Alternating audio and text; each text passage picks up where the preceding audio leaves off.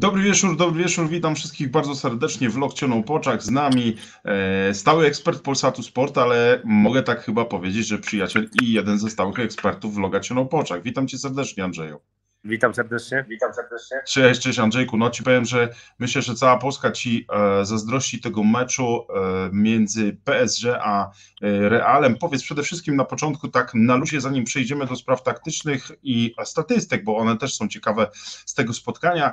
E, czy ten mecz ciebie po pierwsze nie zawiódł, po drugie jak wyglądała ta taka wiesz praca m, od środka na e, właśnie we Francji, jakie tam warunki są dla komentatorów, bo myślę, że wielu osób, wiele osób może to interesować, bo przecież tego nie widać e, w telewizji.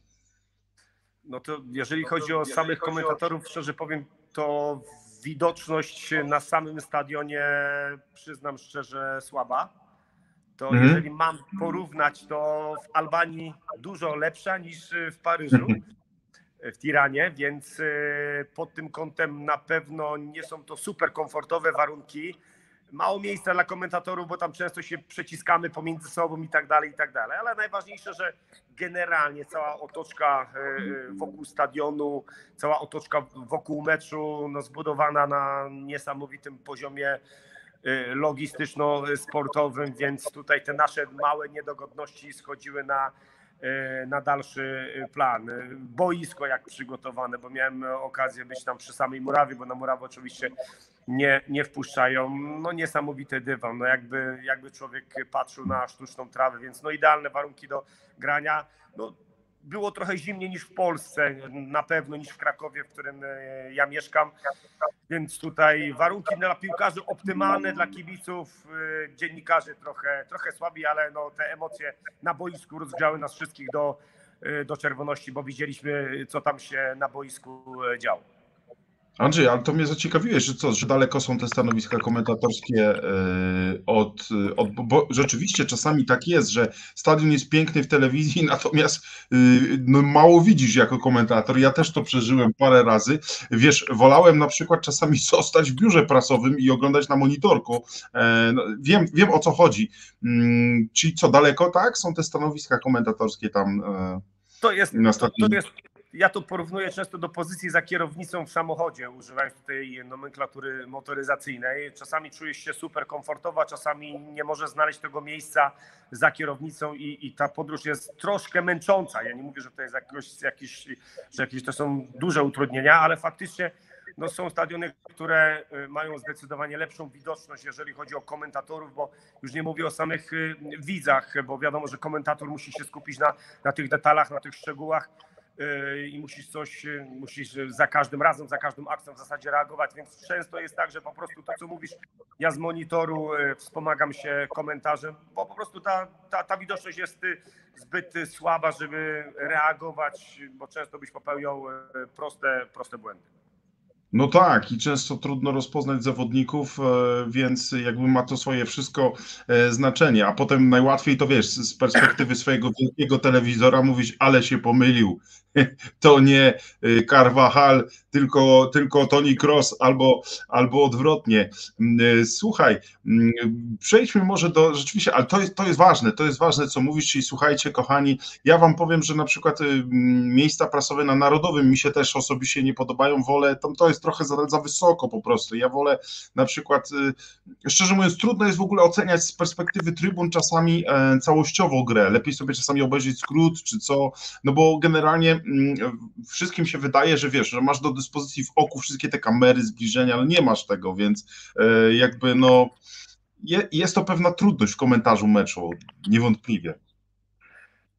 Niewątpliwie, tym bardziej, że musisz być sfokusowany, skoncentrowany faktycznie na Zielonej Murawie, na boisku, na tych 22 gościach, którzy za tą piłką ganiają i musisz w każdym momencie wiedzieć, e, co powiedzieć i faktycznie starać się nie pomylić, bo to pomyłki oczywiście się zdarzają, ale ta sytuacja jest tak dynamiczna, bo to wszystko się wszystkim, e, ja zawsze kolegom tłumaczę, czasami mnie tam łapią za słówka, że gdzieś tam się pomyliłem, ale ta sytuacja, ta akcja jest tak dynamiczna, że często nie jesteś w stanie nie popełnić błędu. Wszystko fajnie wygląda z perspektywy faktycznie telewizora, jak ktoś to sobie tam piwko otworzy i na dużym luzie ogląda, i, ale komentator faktycznie często nie jest w stanie pewnych rzeczy zauważyć, bo tak jest skupiony na danej akcji, więc y, No ale to mówię, no to jest adrenalina, to jest y, jakiś tam poziom y, tych endorfin, które się uaktywniają. Ja czuję się w tym fantastycznie. E, mówię, żyję tym, ta atmosfera niekoniecznie do nas dochodzi, bo mówię, mamy słuchawki na, na uszach, więc staramy się odciąć od tej atmosfery e, stadionowej, żeby faktycznie umieć e, i móc skupić się tylko i wyłącznie na wydarzeniach na boisku. No właśnie, powiedz jeszcze, macie też wydawcę na, na uszach z Polski, jak to, y, jak to wygląda, który wam podpowiada czasami różne rzeczy, czy nie? Macie, macie chyba, nie? Ucho z Polski generalnie. Tak, mamy ucho z Polski i cały czas jest jakaś, czy, czy informacja odnośnie, nie wiem, spornych sytuacji ewentualnie, czy coś się dzieje, coś się wydarzyło, więc y, ja powiem szczerze, że ja nie lubię tego tak zwanego ucha, bo mnie to strasznie dekoncentruje. Ja lubię się sfokusować, skoncentrować na boisku, ja, moje myśli i moje słowa. Jak mam ucho i ktoś mi tam trzeci y, szepce do tego ucha, to strasznie tego nie lubię, bo mi to po prostu wybija y, z rytmu. Najgorzej jak jesteś właśnie live na żywo i ktoś ci jeszcze tutaj mówi, to, to nie jest łatwe połączyć tych kilka rzeczy. Zresztą jak piłka nożna na boisku musisz umieć zareagować na kilka rzeczy jednocześnie, piłka, myślenie, przewidywanie i tak dalej, i tak dalej, więc ten poziom koncentracji musi być zachowany na 100%. Ja powiem taką ciekawostkę, bo komentując no. mecze, może, bo może nie wszyscy wiedzą, y, ja się przygotowuję jak do meczu ligowego, w sensie takim nawet y, motorycznym, y, więc ja muszę być wypoczęty, ja rano idę sobie gdzieś tam pobiegać czy pospacerować. Ja muszę dobrze zjeść, dobrze się przed tym meczem, który komentuję, wyspać. Więc ja to porównuję, byłem piłkarzem, więc wiem o czym mówię. Więc porównuję to do takiego dnia faktycznie meczowego, bo jeżeli nie jesteś wypoczęty, jeżeli nie jesteś na 100% gotowej w formie, no to ten mecz po prostu wyjdzie ci słabo. No tak, i później wiesz, później słychać pewne, pewne rzeczy. Z drugiej strony z komentatorami jest trochę jak z piłkarzami, wiesz, jeszcze pod jednym względem, pod jakim względem, że siedzi sobie taki kibic z boku i mówi tak, ale ja bym to skomentował, ale ja bym to strzelił, nie? A, a, a, a to usiąść, to usiądź za tym mikrofonem, idź, wyjdź i zobacz, jak to jest, e, kiedy jest cisza. Mm, chyba każdy to ma, kto komentował pierwszy raz, że wiesz, nagle jest cisza nikt ci nic nie mówi i ty musisz to ciągnąć. I to jest, e, myślę, że takie wrażenie niesamowite, szczególnie jak się komentuje coś pierwszy raz, to, to, mm, to jest takie, nie? ja zawsze staram się czy kolegom, czy, czy, czy, czy żonie, czy dzieciom wytłumaczyć, jak, jaki to jest poziom e, adrenalin, adrenalin faktyczny, bo zwróćmy uwagę, nawet jak gdzieś tam sobie prywatnie rozmawiamy i ktoś nagle włączy telefon i zaświeca się ta lampka, siedzimy we trójkę, we czwórkę, to już ci się zaświeca z tyłu taka, taki guziczek, taka lampeczka, że muszę być skoncentrowany. Ja teraz to staram się przełożyć, czy jak, czy jak jesteś w studio, czy faktycznie jak komentujesz i cię odliczają 30 sekund, 20 sekund, 10 i masz świadomość w pewnym momencie przed tą transmisją, że po zapaleniu tej lampki to wszystko, co powiesz, pójdzie w eter. Jesteś live, tego się nie da wyciąć, tego się nie da zmoderować w jakikolwiek e, sposób, nie da się tego usunąć, więc każde twoje słowo będzie oceniane. E, ale mówię, no ja ten poziom stresu uwielbiam, mnie to nakręca, mnie to napędza i w żaden sposób mnie to nie deprymuje czy, czy nie blokuje. Ja, ja się w tym po prostu odnajduję. Tych endorfin po tym, jak skończyłem grać w piłkę, tego stresu pozytywnego, brakuje mi, a telewizja mi to po prostu dostarcza, ale mówię, to nie jest łatwe w momencie, jeżeli, kiedy jesteś świadomy, że faktycznie, nie wiem, ileś tam tysięcy czy set ludzi, tysięcy czy milionów cie, ciebie, ciebie słyszy, ale mówię, no to są, to są rzeczy, w których ja osobiście się odnajduję, które mnie napędzają do tej pracy.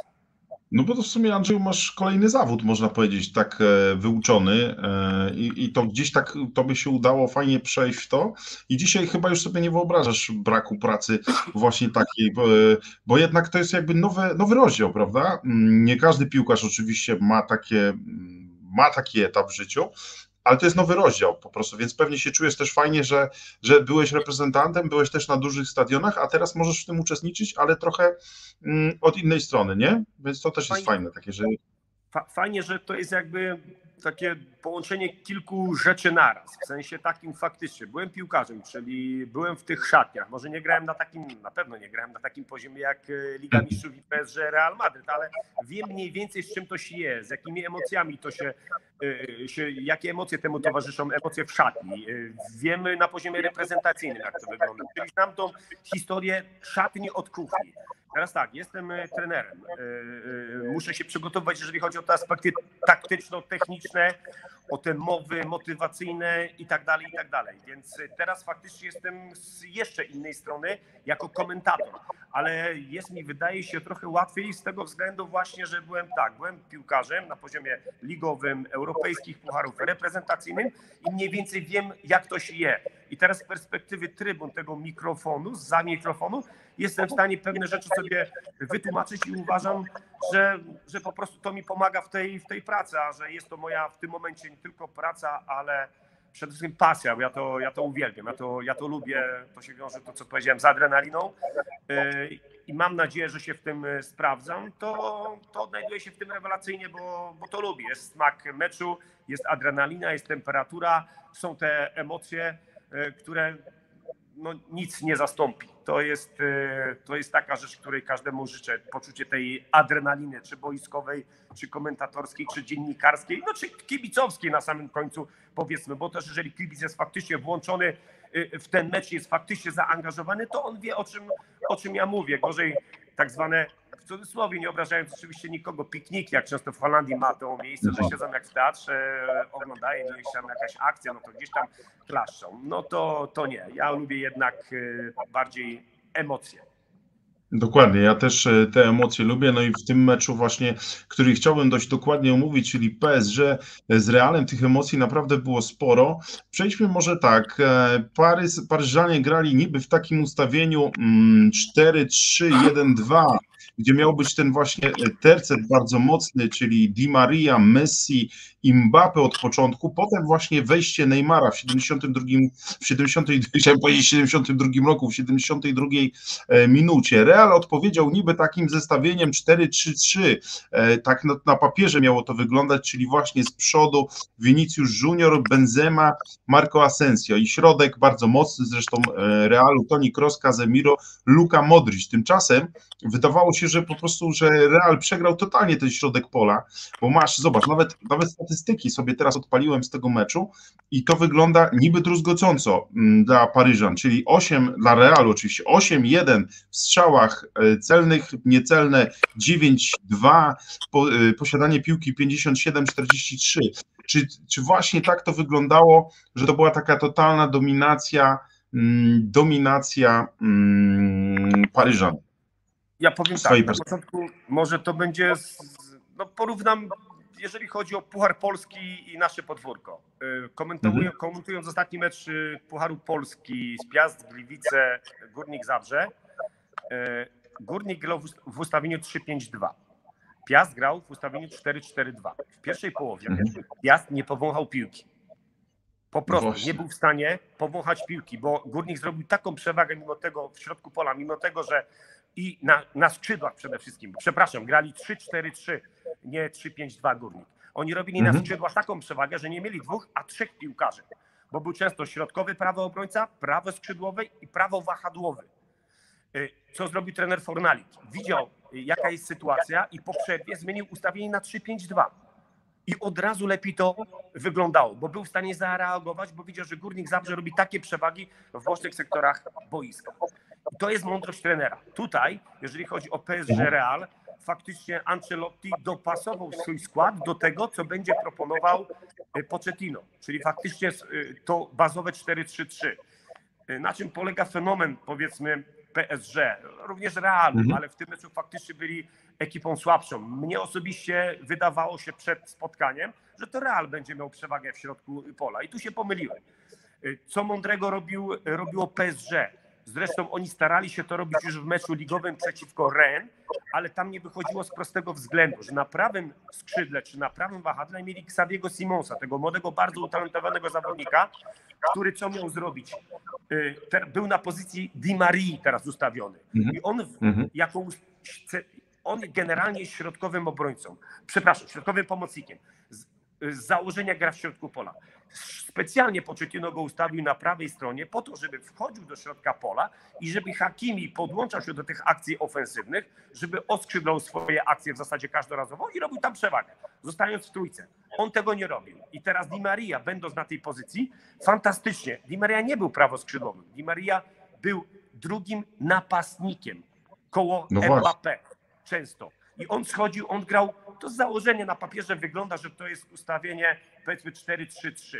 Di Maria był klasycznym, y, klasyczną dziewiątką wraz z Mbappé, który oczywiście szukał sobie miejsca po lewej stronie. Co za tym idzie? Y, Verratti, ta klasyczna szóstka, jedyny y, rozgrywający piłkarz, bardzo kreatywny, który ma za zadanie te piłki do przodu dostarczać. No i Danilo Paredes, którzy byli takimi dwóch destrukcyjnych piłkarzy, jak ja to nazywam w środku pola, którzy mają dobre. tylko i wyłącznie tak, za zadanie zabierać piłki, przerywać akcję e, przeciwnika, ale asekurować te strefy, w których na, powiedzmy Hakimi się nie, nie znajdował, czy po drugiej stronie Nuno Mendes. I zwróćmy uwagę, Hakimi tylko na początku faktycznie e, ustawiony jest jako prawy obrońca, a generalnie mhm. on gra jako prawy napastnik w tym ustawieniu. To niesamowite jest.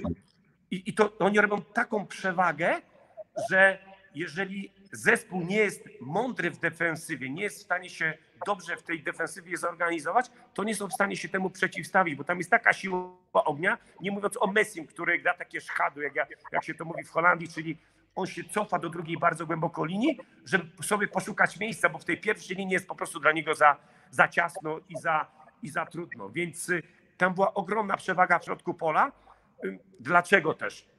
Z tego względu, że y, bardzo dobrze grał y, Marquinhos z Kimpembe. Oni, oni jako ta trójka środkowych obrońców, bo ich często wspierał czy Paredes zostawał, czy Verratti, oni fantastycznie potrafią piłkę w drugą linię wprowadzić, a to jest niesamowita wartość dodana. Jeżeli chcesz dominować przeciwnika z piłką, musisz mieć nie tylko bram, nie tyle bramkarza, co środkowych obrońców, którzy będą ci w stanie robić wprowadzenie piłki w drugą linię tą przewagę. I oni to fantastycznie y, robili. Problem jest taki, że PSG w lidze francuskiej mhm. strzela po 4-5 goli i to ciśnienie z nich schodzi, bo oni wiedzą, że oni już nie muszą więcej się męczyć. No to tutaj prawda. Na tym poziomie, tutaj na tym poziomie Ligi Mistrzów oni zdawali sobie sprawę, że muszą w 100% wykonać czy zadania taktyczne z przodu i z tyłu, ale przede wszystkim jeżeli będą utrzymywać się przy piłce, na umówmy się, y, Verratti to jest człowiek, o którym zresztą mówi Hakimi, mówi Mbappé. Mbappé powiedział, że to jest najlepiej wyszkolony piłkarz w szatni Paryżan. To jest człowiek, który potrafi, to jest taka, na niego warto zwracać uwagę. To jest piłkarz, któremu no nie zabiera się piłki. On mimo tego, że ma dwóch, często trzech piłkarzy na sobie na plecach, on piłek nie traci. To jest niesamowita wartość dodana do każdego zespołu, bo on tym samym robi, robi po prostu z przodu przewagę. Więc tutaj, jeżeli chodzi o Paryża, to no wszystko się można powiedzieć zgadzało. Real, wydaje mi się, no właśnie. miał plan na to spotkanie Ancelotti. Dlaczego? E, mi się przypomina mecz z zeszłego sezonu półfinał Ligi Mistrzów Chelsea-Real. Chelsea przyjechało do Madrytu, cofnęło się i grało z kontrataku. Na Wernera, na Pulisicza, bardzo szybkich i to wychodziło, bo Real bardzo mocno dominował piłkarsko. Tutaj wydaje mi się specjalnie oddali inicjatywę, żeby kontratakować Paryżan. Gdzie był kłopot? Kłopot polegał na tym, że Benzema ustawiona na środku boiska, jeden trening tylko przeprowadził w przeciągu ostatnich bodajże 6 czy 5 tygodni, fizycznie nie do pobiegania dla niego. Vinicius Junior, któremu rzucali piłki i nie był w stanie wyprzedzić Hakimiego, już nie mówią Marquinhos'a i Kimpembe. Więc y, problem polegał na tym, że Hakimi zneutralizował najważniejszą i najgroźniejszą broń po stronie Realu, jeżeli chodzi o kontrataki, bo nie mówimy o Asensio, który nigdy nie dysponował i nie dysponuje dużą szybkością. Więc tutaj, jeżeli nie masz tych parametrów biegowych i ustawiasz się na kontratak, to mieliśmy przykład, ostatnio zwracałem na to uwagę, Polska-Holandia. Graliśmy że cofnęliśmy się, a na desancie mieliśmy Krzyśka Piątka, który był ustawiony na połowie boiska i mieliśmy kontratakować. No, z całym szacunkiem dla Krzyśka Piątka, ale to nie jest piłkarz, który może grać z kontrataku. No nie. No nie, to prawda. Andrzejku, czy bardzo Ci rozczarował Real w tym spotkaniu? Bo no, te statystyki są bez, bezwzględne. Ja oglądając to spotkanie nie miałem takiego wrażenia, że to wygląda aż tak źle, jeżeli chodzi o Real, bo, bo w sumie wiesz, wynik 0 e, do 0 to by im nawet pasował w sumie de facto, no ale jednak 1-0 e, to, mm, to już nie, nie wygląda tak super, chociaż znamy te remontady, że Paryżanie nie potrafią trochę, trochę w te drugie mecze nazwijmy to, tak mówiąc po młodzieżowemu, ale jednak no te 1-0 to zawsze jest jakiś handicap dla drużyny jednak gospodarzy, chociaż hiszpańskie drużyny pod, po, pokazały już, że potrafią to odrobić, no więc u siebie. Ja bym ich nie skreślał z kilku powodów. Po pierwsze, to co powiedziałeś, y, czy Paryżanie są w stanie drugi tak fantastyczny, bo nie, nie boję się użyć tego słowa, fantastyczny mecz zagrać i to na Santiago Bernabeu? Nie wiem. Po drugie, Benzema będzie w treningu. Benzema, który te minuty będzie łapał i będzie się fizycznie coraz lepiej czuł. E, Vinicius Junior, dru, drugiego tak fatalnego meczu, użyję tego słowa, fatalnego w jego wykonaniu, nie, nie spodziewam się w, w Madrycie. Więc tutaj wszystkie znaki na niebie i ziemi wskazują na to, że Real będzie inaczej grał. Real tylko przegrał 1-0, słuchajcie. E, e, słuchaj, Real przegrał tylko 1-0 z fantastycznie dysponowanym PSG. Faktycznie, Real ma słabsze statystyki. Real nie dominował, ale przypomnę, PSG dominuje przeciwników w 90, piłkarsko w 90% czasu gry. Więc jeżeli chodzi o te aspekty czysto techniczne, oni są nawet wyżej niż Real Madryt. Ale pamiętajmy, że mają rewanż u siebie. Co mnie bardziej martwiło i, i zastanawiało, że tak wybitni piłkarze, niewątpliwie jacy grają w Realu Madryt, nie są w stanie sobie poradzić z prostą rzeczą. Wydawać by się mogło. Czyli Mbappé z Carvajalem robił od początku co chciał. On go kręcił, no niesamowicie, ośmieszał go wręcz. Carvajal nie był w stanie, no bo nie, nikt nie jest w stanie, szczególnie Carvajal w tym momencie, nie był w stanie go zatrzymać. Brakowało mi podwojenia, już nie tyle potrojenia, ale brakowało mi w tym bocznym sektorze boiska podwojenia, bo widzieli, jakie ma Carvajal problemy, a cały czas generalnie zostawiali go samego. Asensio, zawodnik nas skroś ofensywny, nie był w stanie w defensywie się zorganizować i pomóc. Modric był spóźniony, Cross był spóźniony. Jedyny, który później bardzo dobrze te zadania wypełniał, był Casemiro, bo uważam, że był najlepszy, jeżeli chodzi o środek pola po stronie Realu Madryt. Ale to, jeżeli grasz na tym najwyższym światowym poziomie, jest zdecydowanie za mało. I PSG to jest właśnie, to są piłkarskie szachy. Musisz być, umieć przeczytać przeciwnika, znaleźć jego słaby punkt. Wracamy do Czesława Michniewicza i meczu Polska-Rosja. No właśnie, ten, tak ten jest. punkt i, i, i na tego zawodnika po prostu grać. PSG znalazło słaby punkt, znalazło Carvajala i na niego po prostu grali. Zwróćmy uwagę, do 93 minuty czwartej, przepraszam, no udawało się, bo nie dostawali bramki, no ale jedna, jedyna akcja, no ale jeżeli ogląda się, a oglądają, analizowali mecze PSG, no to przecież w ostatnim meczu przeciwko Ren również po pierwsze z kontrataku PSG strzeliło bramkę, no i w zasadzie analogiczna sytuacja, może nie wszedł w taki ładny dribbling, ale analogiczna sytuacja, ten sam sektor boiska i w zasadzie ten sam, ten sam typ uderzenia Mbappé pokonuje bramkarza. Więc na tego typu zawodnika, jak kiedyś powiedziałem, któryś z trenerów się zapytał, jak zatrzymać Messiego. No Messiego, żeby zatrzymać w tamtym czasie, teraz to jest mowa do Mbappé, to trzeba go zamknąć w szatni i nie wypuścić na boisko. No to jest jedyna opcja, słuchajcie, bo to, co Ancelotti też powiedział po tym spotkaniu.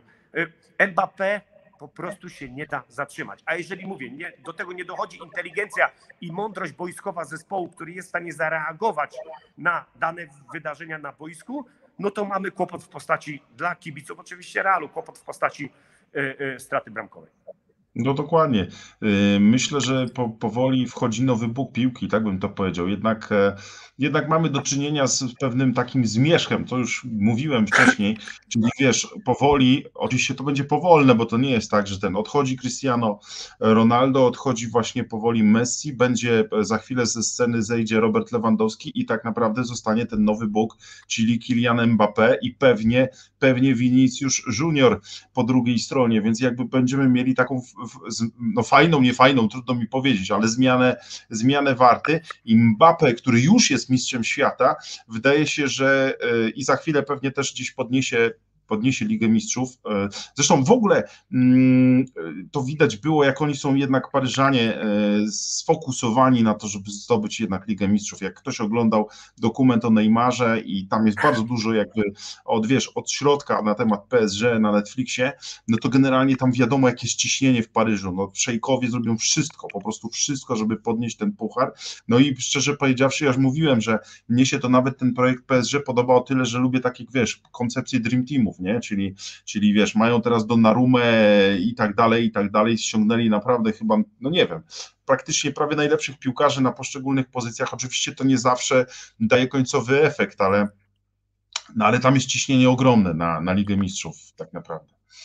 Znaczy, to pokazała sytuacja, oczywiście jej nie widziałem, tylko słyszałem i czytałem, sytuacja, że ponoć Leonardo z prezesem zeszli w przerwie meczu do, do sędziego i mieli do niego pretensje. No to faktycznie pokazuje, y, y, jakie tam jest ciśnienie, jaka tam jest presja. Przede wszystkim, jakie tam są pieniądze pakowane y, już na same pensje. Już nie mówię o tych y, y, milionach y, kładzionych za zawodników, bo przypomnę, że w dobie koronawirusa szaleństwem było y, zaproponować y, przez Real Madrid 200 milionów za Mbappé. Ale jeszcze większym szaleństwem było nie przyjąć tej oferty, jeżeli on ma odejść po roku za darmo. Więc to pokazuje, y, gdzie oni mają pieniądze, że te petrodolary faktycznie u nich grają y, najważniejszą rolę i oni się z, y, z pieniędzmi, z tym centem, kolokwialnie mówiąc, nie liczą. Z drugiej strony myślę, że doskonale prezydent, Leonardo, Pochettino, oni sobie zdają sprawę z jednej rzeczy. Jeżeli nie wygrają Ligi Mistrzów, bo Ligę francuską już wygrali, jeżeli nie wygrają Ligi Mistrzów, to Mbappé na pewno nie zostanie w Paryżu. Jedynym takim, jedyną szansą, jedynym cieniem nadziei na to, że my Mbappé, a słyszałem, że czytałem dzisiaj, że jakieś spotkanie miało miejsce dzisiaj, wczoraj z przedstawicielami nawet rodziny królewskiej z Mbappé i tak dalej, i oni tam się wszyscy angażują w to, żeby ten piłkarz został, to jedynym dla mnie sposobem na zatrzymanie Kiliana Mbappé to jest faktycznie podniesienie tego Pucharu Mistrzów, bo on będzie widział, że ten projekt ma dalej sens, bo faktycznie oni chcą być galaktyczni, ale Valdano powiedział, ja czytałem wypowiedź Valdano, legarne- legendarnego piłkarza przecież Realu Madryt, który powiedział, że PSG to nigdy nie będą galaktyczni piłkarze, nigdy i to nie, oni nie powtórzą tego galaktycznego czasu Realu Madryt. Trudno się z tym nie, bo to nawet nie chodzi o sprawy czysto sportowe, ale już sprawy kulturowe wchodzą tutaj w grę. Trudno się z nim nie zgodzić, ale jeżeli, jeżeli PSG faktycznie będzie w stanie wyeliminować po pierwsze Real Madryt, a później sięgnąć po ten puchar, to wydaje mi się, że mimo tego, że ja tego nie popieram, takiego zarządzania klubem generalnie, bo co to ma być? Miliony kładziesz, kupujesz najlepszych No wygrywasz. Okej, ktoś, powie, ktoś powie wolny rynek i tak dalej. Okej, ale trochę to jest sztuczny twór, ale jeżeli podniosą faktycznie Puchar Mistrzów i będą inwestować w młodzież, tak jak Sabiego Simonsa chociażby i będą dawali mu szansę i następnie jak Junio Mendes będą wchodzić i będą grać, no to ja temu będę oczywiście jako komentator telewizji, telewizyjny sam e, przyklaskiwał. No właśnie, wiesz, ale myślę, że pasjonujący byłby finał e, nasz Ajax, który obydwoje bardzo e, lubimy kontra PSG. Ja myślę, że to, to byłby finał no, niesamowity, czyli starcie, wiesz, z jednej strony, zobacz jak to można ładnie telewizyjnie opakować, z jednej strony mm, wiesz, taka drużyna z pasji, inaczej budowana zupełnie, mówię tu o Ajaxie, jednak budowana z zupełnie innym jakby, wiesz, pomysłem, a z drugiej strony, wiesz, ten gwiazdozbiór szejków, no to niesamowite. Ja, tak, taki finał to by mi się marzył, prawdę powiedziawszy. Chyba najbardziej PSG, Ajax, bo to byłoby starcie dwóch szkół, mm, jakby w ogóle dwóch filozofii budowania zespołu, co? To byłoby coś pięknego, gdyby był taki finał. No to trafiłeś w sedno, dwóch filozofii. Faktycznie, tym bardziej, że Ajax jest w takim gazie.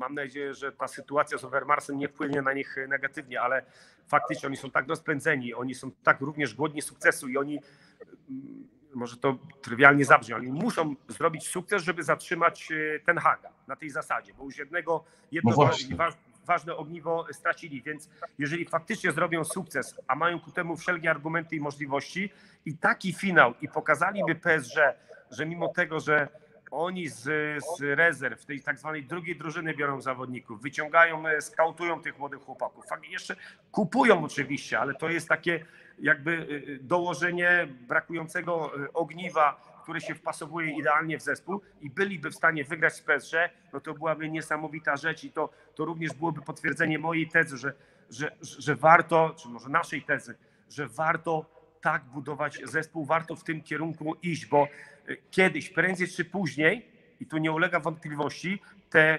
katarskie petrodolary czy petroeuro się skończą. Po prostu.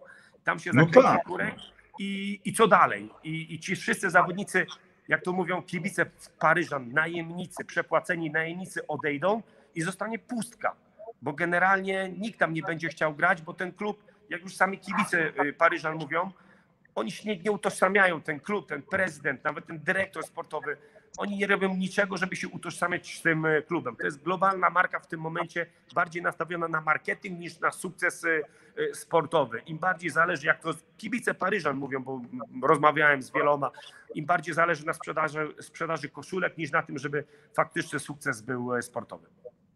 No to, no to szkoda, że zdecydowanie. Powiedz Neymar, no te, te, do tego zawodnika mam, mam trochę słabość. E, powiedz, jak, jak ty oceniasz te kilkanaście, mm, no trochę więcej mm, minut, jeżeli chodzi o, o Neymara, on wraca, wraca powoli do, do wielkiej gry, czy coś pokazał twoim zdaniem takiego ciekawego, czy, czy to był taki występ przeciętny, dobry? Jak ty byś ocenił ja przed meczem, Neymara? Przed meczem przeglądając francuskie wszystkie portale, prasę i tak dalej, i tak dalej, natrafiłem na kilka takich zdjęć, gdzie Neymar, gdzie Neymar wyglądał w koszulce sportowej tak jak ja w tym momencie. Czyli Mhm. odstający, odstający brzuszy kilka kilogramów. Bebzol. Bebzol, bebzol taki no piwny bandzioch, że tak to nazwę. Aż, aż Dobre, dobre, dobre, dobre, dobre. W transmisji y, zaśmiał, kto jest grubszy, Neymar czy ty. Y, Ale słuchajcie, dzwonił do mnie zresztą Eddie Andradina po, po, po meczu i mówi, zobacz, zobacz, Grubas wyszedł na boisko, jego słowa, Grubas wyszedł na boisko i zrobił robotę. Słuchajcie, co on w pierwszej akcji? On może być gruby, on może być nadwagę, bo wiadomo, że nie trenuje, wiadomo, to jest król życia.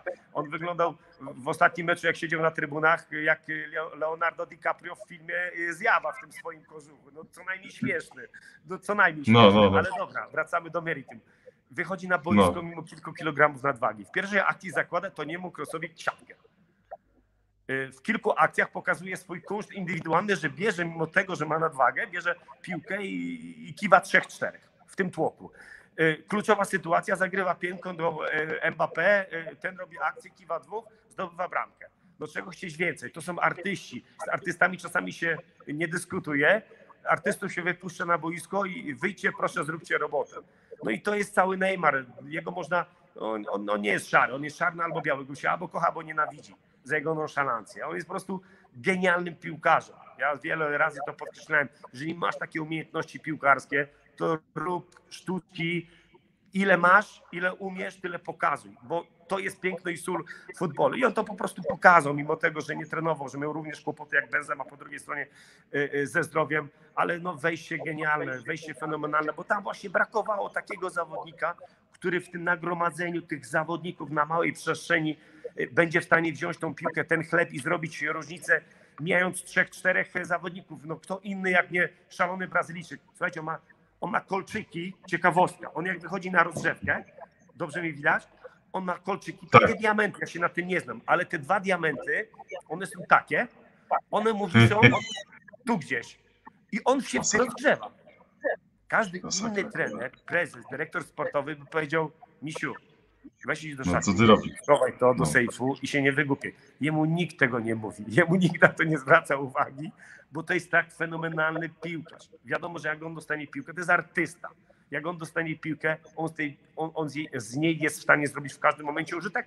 No i to pokazał, dlatego jest jednym z lepiej e, e, płaca, e, płaconych piłkarzy w Paryżu.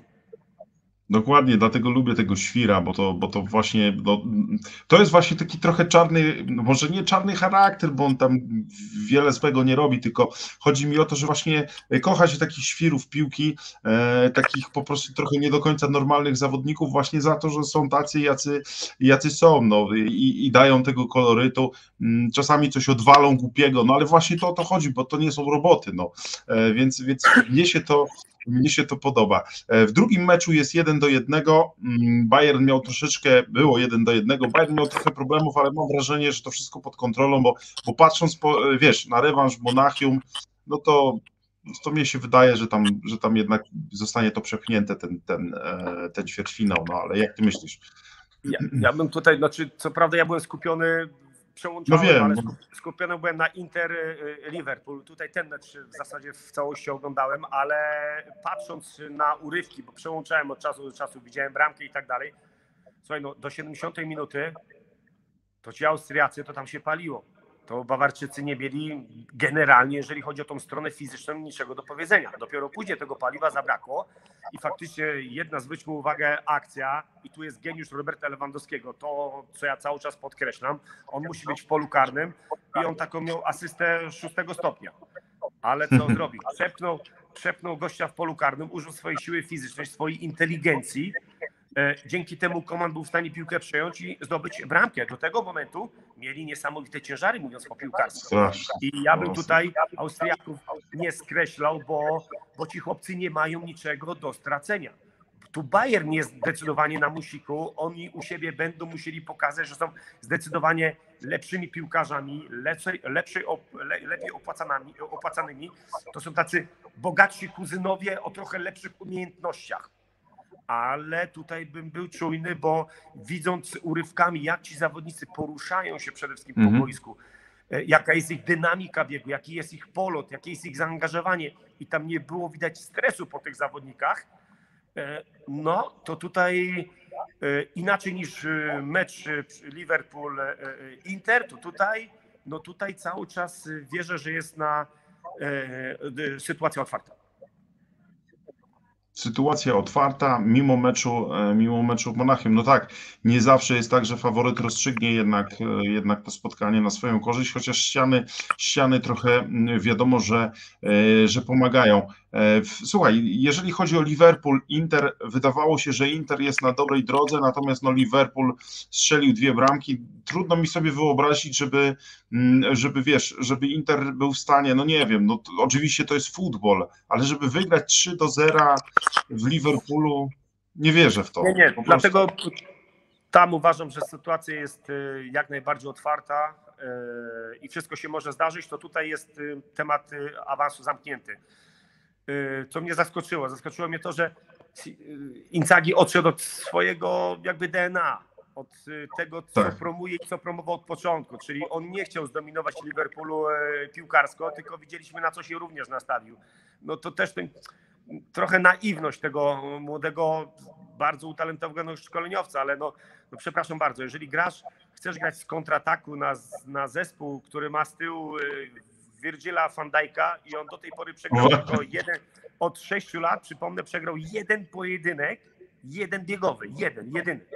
No to słuchajcie, no to chyba coś jest nie tak z analitykami, z podejściem y, taktycznym, przygotowaniem y, meczu, no, no bo kto się miał ścigać? De, Dzeko, przepraszam, z Van Dijkiem, no widzieliśmy jak Dzeko No. jedną piłkę długą dostał, co Van Dijk z nim zrobił, więc, więc wydaje mi się, obserwując tam to spotkanie, że Liverpool grał ile musiał, przyspieszał kiedy musiał. Widział, że jest kłopot, trzeba przyspieszyć, wyciągnąć te najmocniejsze y, strony swoje y, argumenty i armaty, no i zdobyć bramkę. Y, W drugiej połowie, co mi się podobał Inter, bo zaczął swoją piłkę grać, już zaczął dominować przeciwnika, już zaczęli stwarzać sytuacje, ale to, to właśnie Liverpool miał kłopoty. Dlaczego? Bo Inter grał to, co grać od początku moim zdaniem powinien. Tutaj ta taktyka nie była trafiona. No ale cóż, zostali podpuszczeni, grali, przyjęli inicjatywę, dostali jedną, drugą bramkę.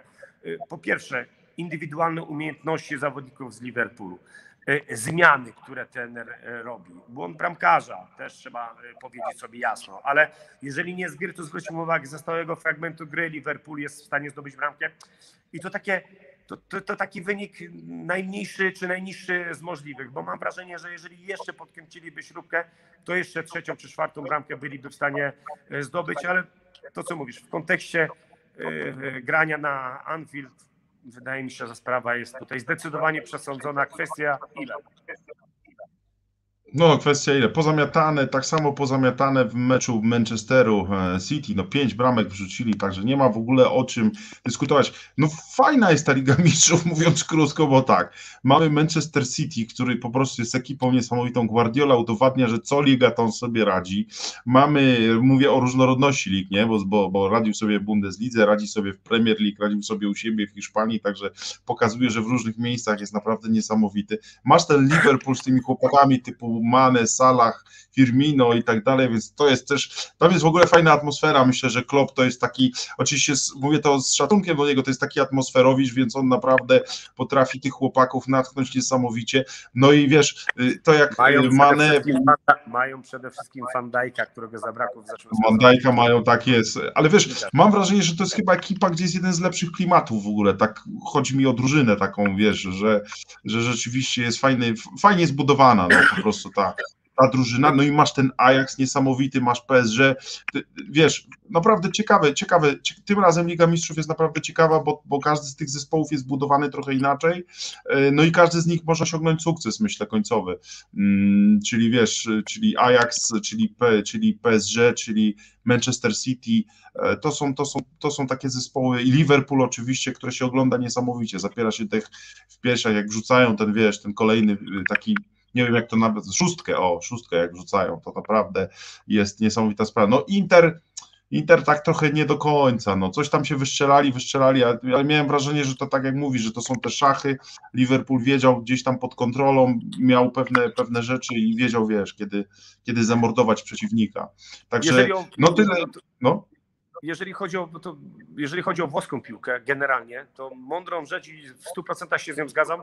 I, I, dlaczego tak jest, powiedział Antonio Casano w jednym z takich swoich wywiadów, że Liga Włoska jest po prostu słaba całym szacunkiem, ale jeżeli ktoś taki jak Krzysiek Piątek y, jest y, pierwszoplanową postacią u nas, gra, strzela bramki, wyjeżdża za granicę, jak on to określił, to są jego słowa, zdobył cztery bramki, nie był w stanie wywalczyć miejsca w podstawowym składzie średniego europejskiego czy słabego europejskiego, europejskiego zespołu, wraca i zdobywa u nas y, bramki jacy zawodnicy grają w tym momencie y, y, we Włoszech. Kiedy y, generalnie włoski klub odniósł sukces na arenie międzynarodowej. Oni w, tych, w tej największej, naj, najważniejszej fazie, czy ćwierćfinałów, czy półfinałów, nawet nie mówię o finałach Ligi Mistrzów czy Ligi Europy, odbijają się od nich jak od ściany, więc faktycznie ten poziom włoskiego grania, nie mówię o reprezentacyjnym, bo tu indywidualnie wyglądają bardzo dobrze, zespołowo również, jest na bardzo niskim y, poziomie, więc jeżeli ktokolwiek tutaj nie pasuje do tego grona, to zdecydowanie Inter. Nie skreślałbym jeszcze raz, mówię, Realu Madryt, który drugiego, nie, nie zagrali słabego meczu, po prostu PSG zagrał zdecydowanie y, lepsze spotkanie w tym danym momencie, ale jeszcze raz pytam, czy PSG będzie w stanie tak dobre drugie spotkanie na takim zaangażowaniu, no na takiej determinacji zagrać? To, to jest ciekawe pytanie. Jeżeli, jeżeli tylko im zależy, a zależy, to myślę, że zrobią wszystko, żeby takie drugie spotkanie mm, zagrać, no i może zagrają właśnie na ten finał. Chociaż teraz się zastanawiam, taki finał Liverpool-Ajax też byłby niesamowity, nie obraziłbym się. E, w każdym razie, no i Mane, mój, jeden z moich ulubionych zawodników z Senegalu, także, a notabene właśnie, teraz sobie tak sobie spokojnie, zadawajcie też już inne pytania, Ligę Mistrzów sobie omówiliśmy, możemy przejść do tematów e, reprezentacyjnych.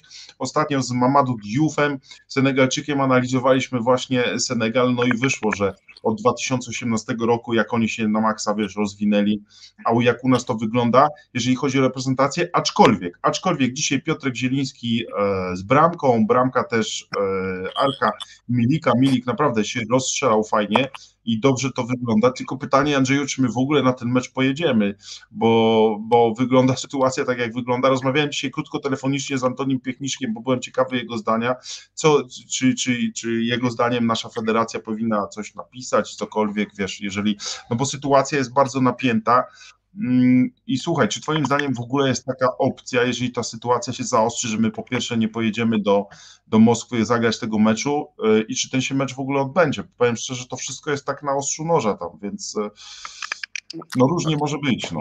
Tak ba, bardzo, dużo, ba, bardzo dużo polityki w tym wszystkim jest i to mi się nie podoba to jest tak jak z y, Igrzyskami Olimpijskimi e, w Chinach. Tak, że to trochę kamyczek do tamtego ogródka.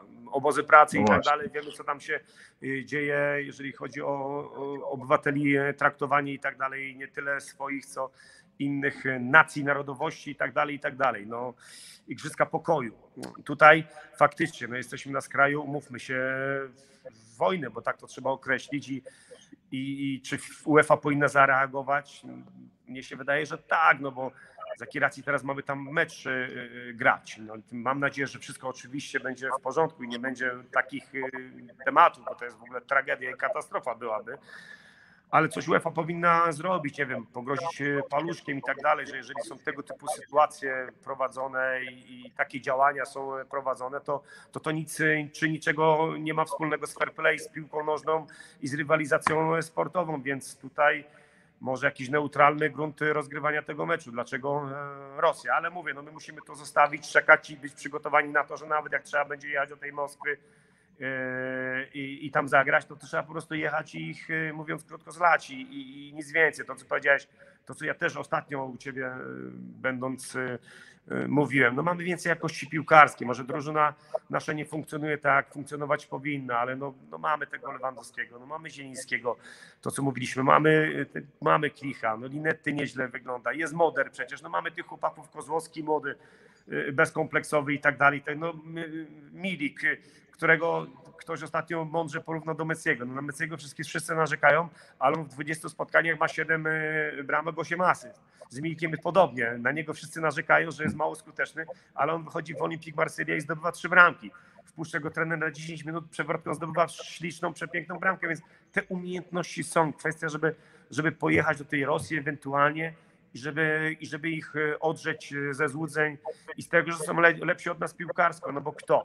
Artiom Dziuba jest lepszy od Arkadiusza Milika, no nie żartujmy. No, No to nie, sens no. z całym szacunkiem. No, dlatego, dlatego mówię, no, tutaj nie ma się kogo czego bać, tylko kwestia, żeby, żeby tego typu sytuacje pozasportowo już były rozwiązane i żeby nie było wątpliwości faktycznie, gdzie my gramy, kiedy my gramy, żeby, żeby tutaj to wszystko było jasne, bo ta logistyka, wiemy doskonale, że czasownik nie już lata po Europie i spotyka się z każdym zawodnikiem, to też jest komfort jakiś pracy, żeby wiedział, i żebyśmy wszyscy wiedzieli generalnie, gdzie, gdzie będzie ten mecz rozgrywany. Już chyba wiemy, że rzecznik PZPN-u e, e, powiedział, że, że chyba polscy kibice nie będą mogli obejrzeć tego meczu. No to co to w ogóle za historia?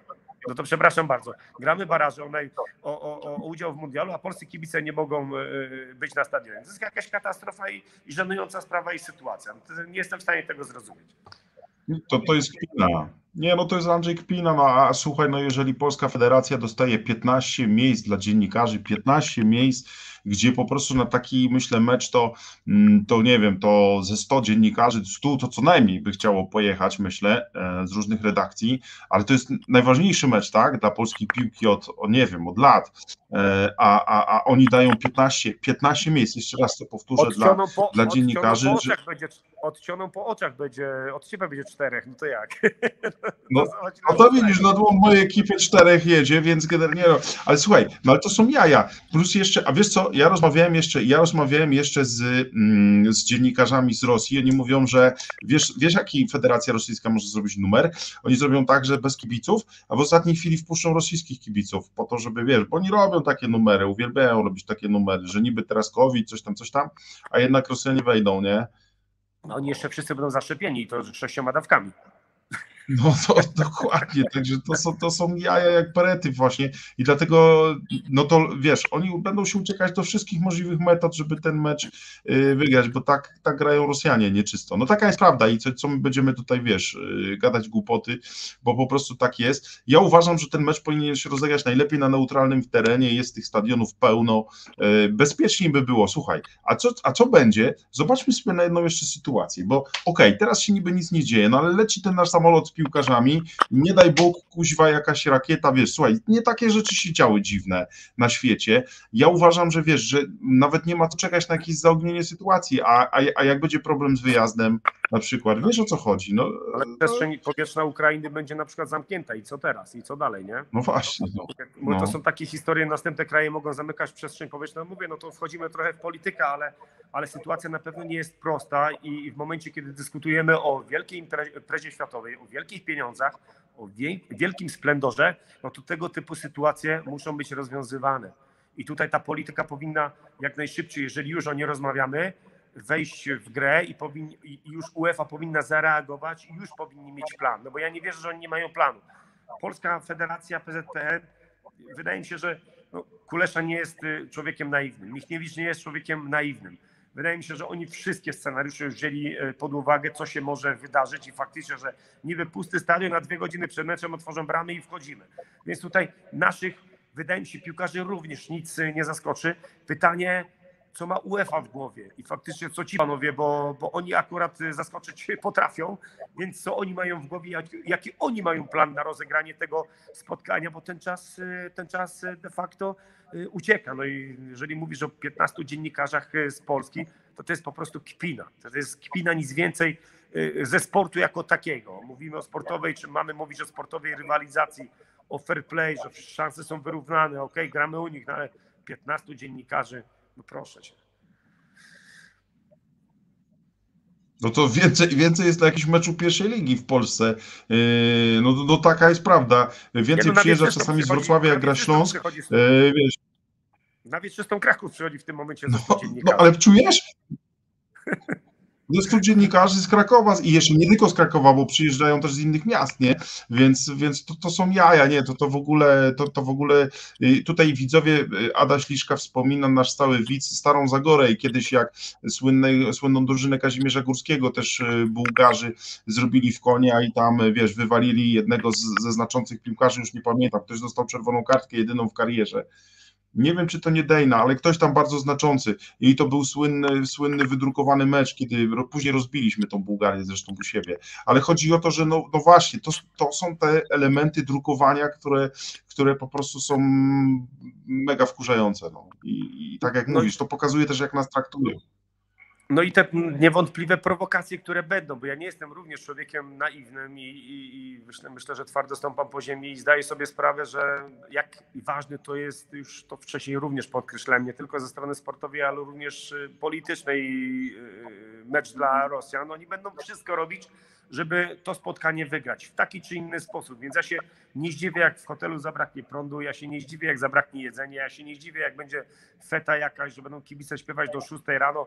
Przecież w wielu e, przypadkach tego typu miejsce w Europie, w cywilizowanych e, krajach miało miejsce, gdzie przyjeżdżały zespoły na Ligę Mistrzów, na ważne spotkanie rewanżowe, i nagle kibice z bębnami, z tymi wuwuzelami stali pod oknami i śpiewali, żeby kibice, żeby piłkarze się nie mogli wyspać. Więc e, mówię, ale wydaje mi się, że nie tylko ja, ale również e, całe nasze środowisko piłkarskie, które jest odpowiedzialne za reprezentację, wszystkie możliwe scenariusze biorą e, pod uwagę. E, I szkoda, że właśnie zobacz na czym my się skupiamy. Zamiast się skupić No. na tym, czy Dziuba jest lepszym piłkarzem od Milika, nie, no nie jest. Czy Dziuba jest lepszym piłkarzem od Lewanskiego, nie, no nie jest. No to my się skupiamy na tego typu sytuacjach, historiach, ale, ale to mówię, ja mam tutaj za każdym razem organizator tego typu e, e, imprezy jest zawsze za to e, odpowiedzialny. I tyle. I organizator ponosi, po, powinien ponieść ewentualne konsekwencje, jeżeli coś tam się będzie nie takiego działo. Ale ja mówię, ja mam nadzieję i wierzę w to, że, że będzie spokój na świecie, że będzie można polecieć normalnie do Rosji, rozegrać ten mecz, zlać ich mówiąc krótko, przyjechać i grać z tymi ewentualnie Szwedami e, e, e, i polecieć do tego Kataru, żeby już ten Robert Lewandowski na sam koniec tej, tej swojej pięknej kariery no, no, z takim przytupem. Jeżeli już chce skończyć po tym Katarze, to niech to zrobi, jeżeli to niech to zrobi e, z przytupem. Bo kiedy, jak, jak nie teraz? No to co mówisz, Zieliński strzela dzisiaj bramkę e, Barcelonie. No, no piękna sprawa, fantastyczna e, rzecz, ale ja zawsze mówiłem, że takich piłkarzy, to można otworzyć moje wszystkie wypowiedzi, takich piłkarzy jak Zieliński, my mamy, bar- my w ogóle nie mamy takiego kreatywnego piłkarza. Wielu się ze mną nie zgadzało, wielu mnie krytykowało, no ale no, to tak jest, taka jest rzeczywistość, jeżeli popatrzymy na tego chłopaka. Może kiedyś w tym ostatnim, nie wiem, momencie tej jego kariery gdzieś mu ten stryczek się przekręci i w reprezentacji będzie tyle samo z niego pożytku, co jest w klubie, bo niewątpliwie tak jest. A w ogóle jaki tam jest wynik? Przepraszam, bo nawet nie śledzę. Jak się skończyło? Wiesz co, e, zapytamy się na czacie, zaraz nam napisze Marcin Generka albo ktoś ze stałych widzów, oni wszystkie mecze oglądają, więc spokojnie myślę, że nam zaraz napiszą. E, Natomiast jest tu ciekawy głos na czacie o tym, co a propos tego, co mówimy, wnikliwy pisze, e, UEFA nie ma nic w głowie, nic nie zrobią, bo się boją, to nasza federacja już powinna złożyć pisma o wyznaczeniu innego miejsca, ponieważ czują się zagrożeni, lecąc przed terytorium zagrożone wojną. Podobnie uważam jak wnikliwy, bardzo dobry głos na czacie. Dokładnie tak, no wiesz, my nie możemy też czekać UEFA właśnie na, na, na jakieś, no tak, UEFA, ale musimy coś podjąć, coś, jakieś ruchy, wydaje mi się, że wiesz, bo, bo naprawdę sytuacja nie jest tam, e, nie jest tam spokojna i nikt ci nie jest w stanie zagwarantować, e, moim zdaniem, bezpieczeństwa, no, tak jak powiedzieliśmy, nad przestrzenią e, tą powietrzną, więc, więc jakby to, tak to wygląda. Mm, Zaraz, zaraz ten wynik pewnie będziemy mieć, jak tam się skończyło. W każdym razie, słuchaj, no dla mnie sytuacja jest jasna, że piłkarsko, piłkarsko Rosję powinniśmy e, pokonać. E, z trenerem Michniewiczem, myślę, który jest szczegularzem niesamowitym, też trochę będziemy mieli handicapu, natomiast no, tak jak mówisz, te wszystkie inne rzeczy dookoła też są ważne i też trzeba o tym po prostu, wiesz, e, o to zadbać, no, no, bo, no bo kto nie zadba o ciebie, jak ty, nie, jak ty sam, prawda, jak, jak nasza własna federacja. Słuchaj, no o atmosferę jestem spokojny. To jest trochę tak jak właśnie z Realem Madryt, bo wielu ma zarzuty do Ancelottiego, że on nie panuje nad szatnią. On świetnie sobie w tej szatni radzi. To nie jest może wybitny mówca, z tego co słyszę, czytam i tak dalej. I opinie innych y, y, ekspertów, szczególnie hiszpańskojęzycznych. Ale to jest człowiek, który wejdzie do szatni i powie dwa, trzy słowa i chłopacy wiedzą, co mają, co mają robić. Więc tutaj nie potrzeba jakichś zbędnych słów. Tu musisz być fantastycznym y, psychologiem przede wszystkim. Nie musi być rewelacyjnym y, mówcą. To, co powiedział zresztą Kulesza, z nim się w 100% zgadzam. Piłkę nożną ostatnio czytałem wywiad z presem Kuleszą.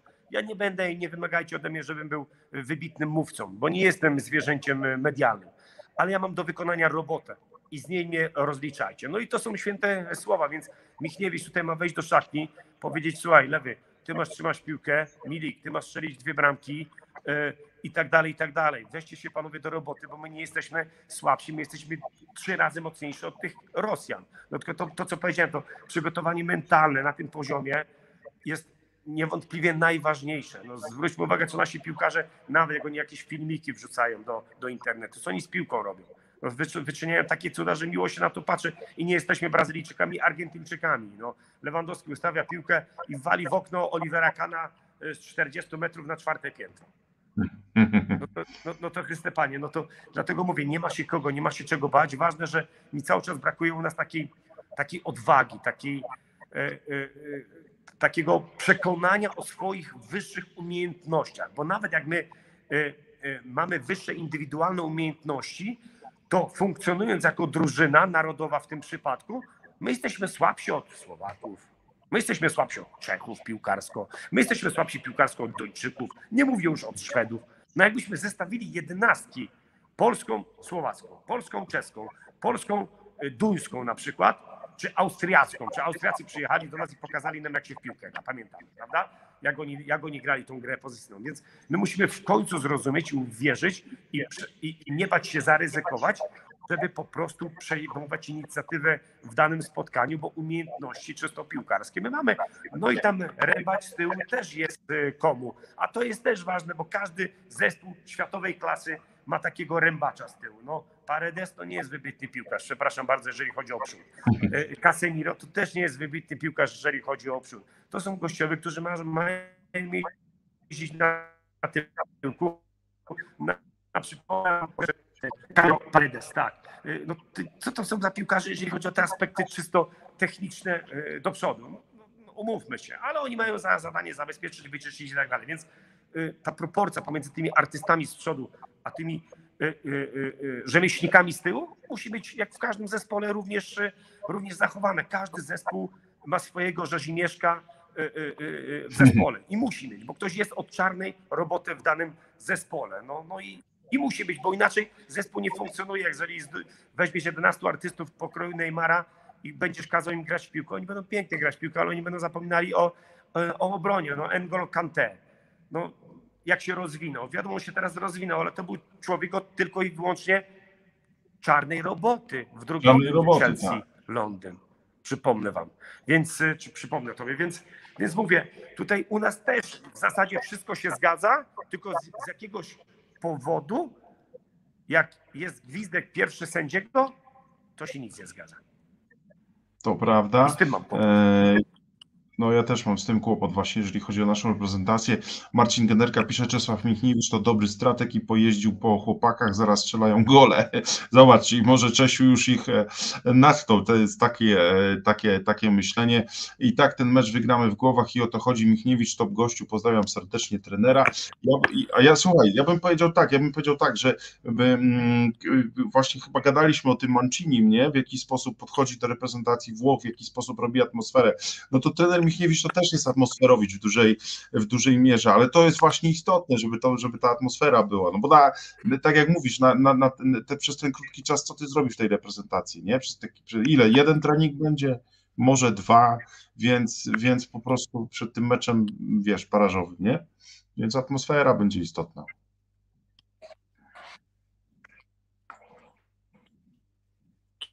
Halo, halo, Andrzeju, Tak, słyszymy znaczy- się?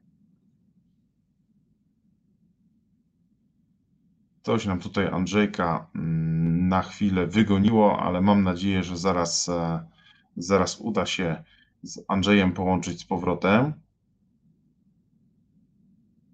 Halo, halo Andrzeju. Za chwilę się pewnie z Andrzejem połączymy raz jeszcze, także spokojnie, ale ja myślę, że. O, jest już Andrzej. Coś Jest, zerwało, ale już jestem.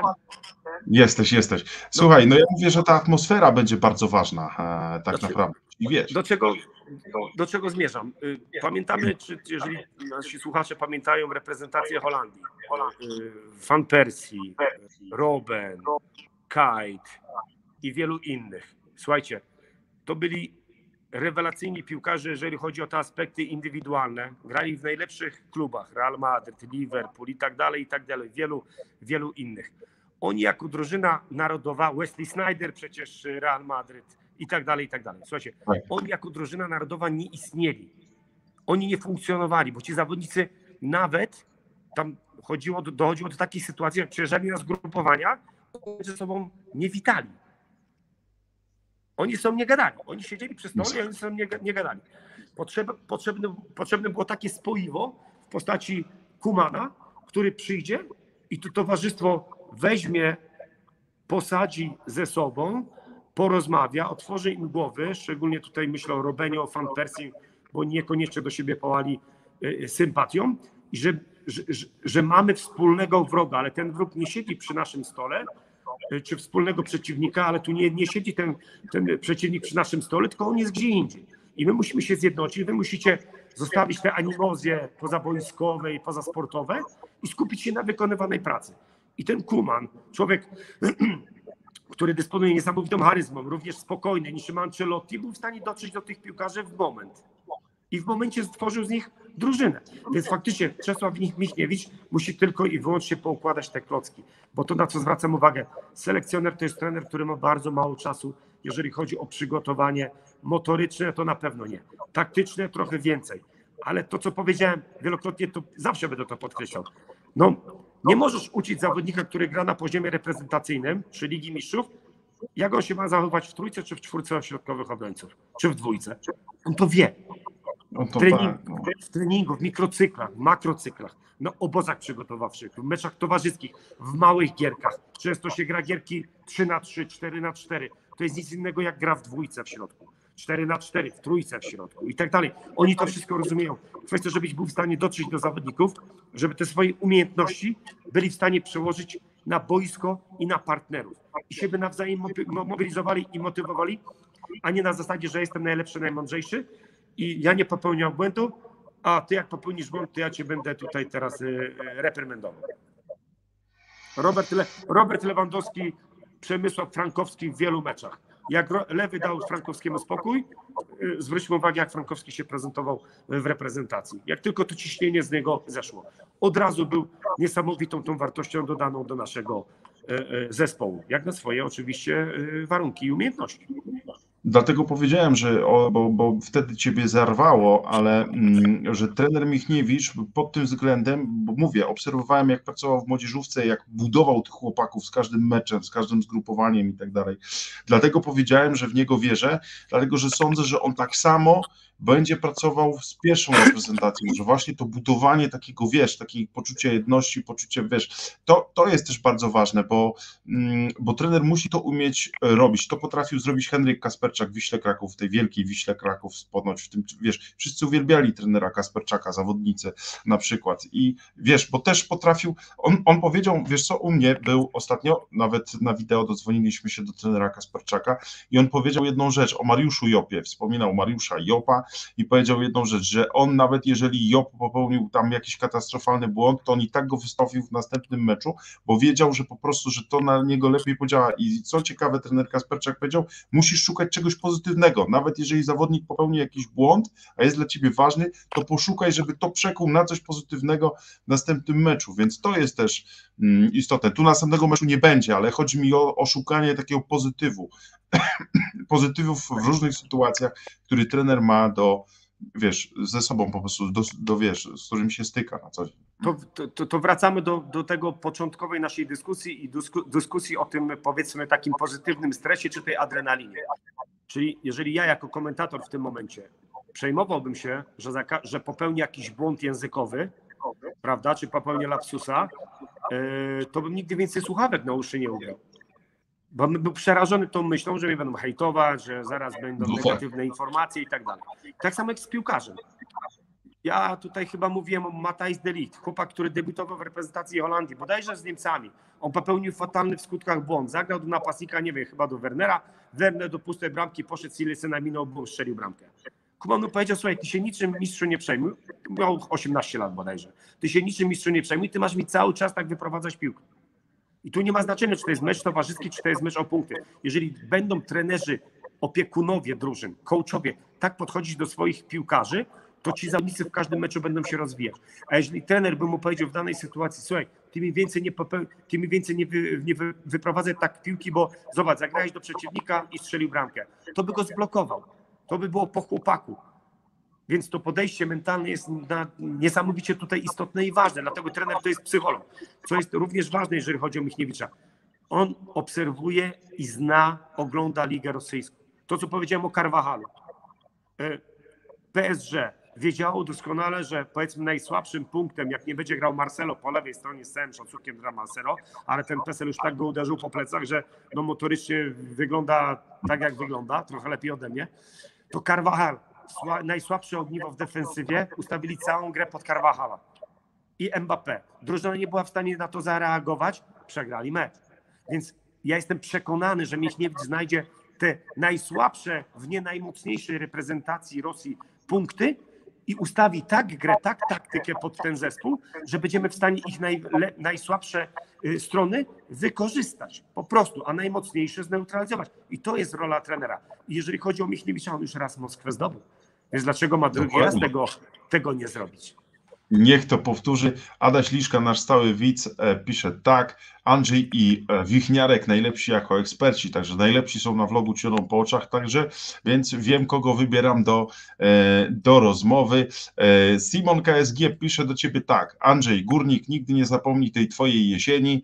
Do dzisiaj mam koszulkę Niedzielan z numerem 23. Super cię widzieć. Bardzo mnie prosił Simon, też nasz stały widz, żeby ci to przekazać. Także słuchaj, tam w Zabrzu bardzo cię pamiętają bardzo i tu, tu kolejny kibic Górnika, nasz stały widz, o ksywie Halas, pisze Andrzej Niedzielan, świetny rok w Górniku, pozdrowienia z Zabrza. No właśnie, skoro jesteśmy przy Górniku, powiedz, y, y, Górnik idzie w górę tak naprawdę, awansował dalej do Pucharu, do Pucharu Polski, co prawda przegrali teraz ostatnie spotkanie, ale, ale wraca, wraca tam fajna taka moda na piłkę, drużyna jest na całkiem niezłym poziomie, jak ty oceniasz w ogóle to, co się dzieje Przede wszystkim w Zabrzu z Górnikiem? Przede wszystkim za co muszę pochwalić Górnika, za to, że gra takim systemem e, treneru Urbana jak ja. 3-4-3. Fantastyczna mhm. praca i, to widać, że to się sprawdza.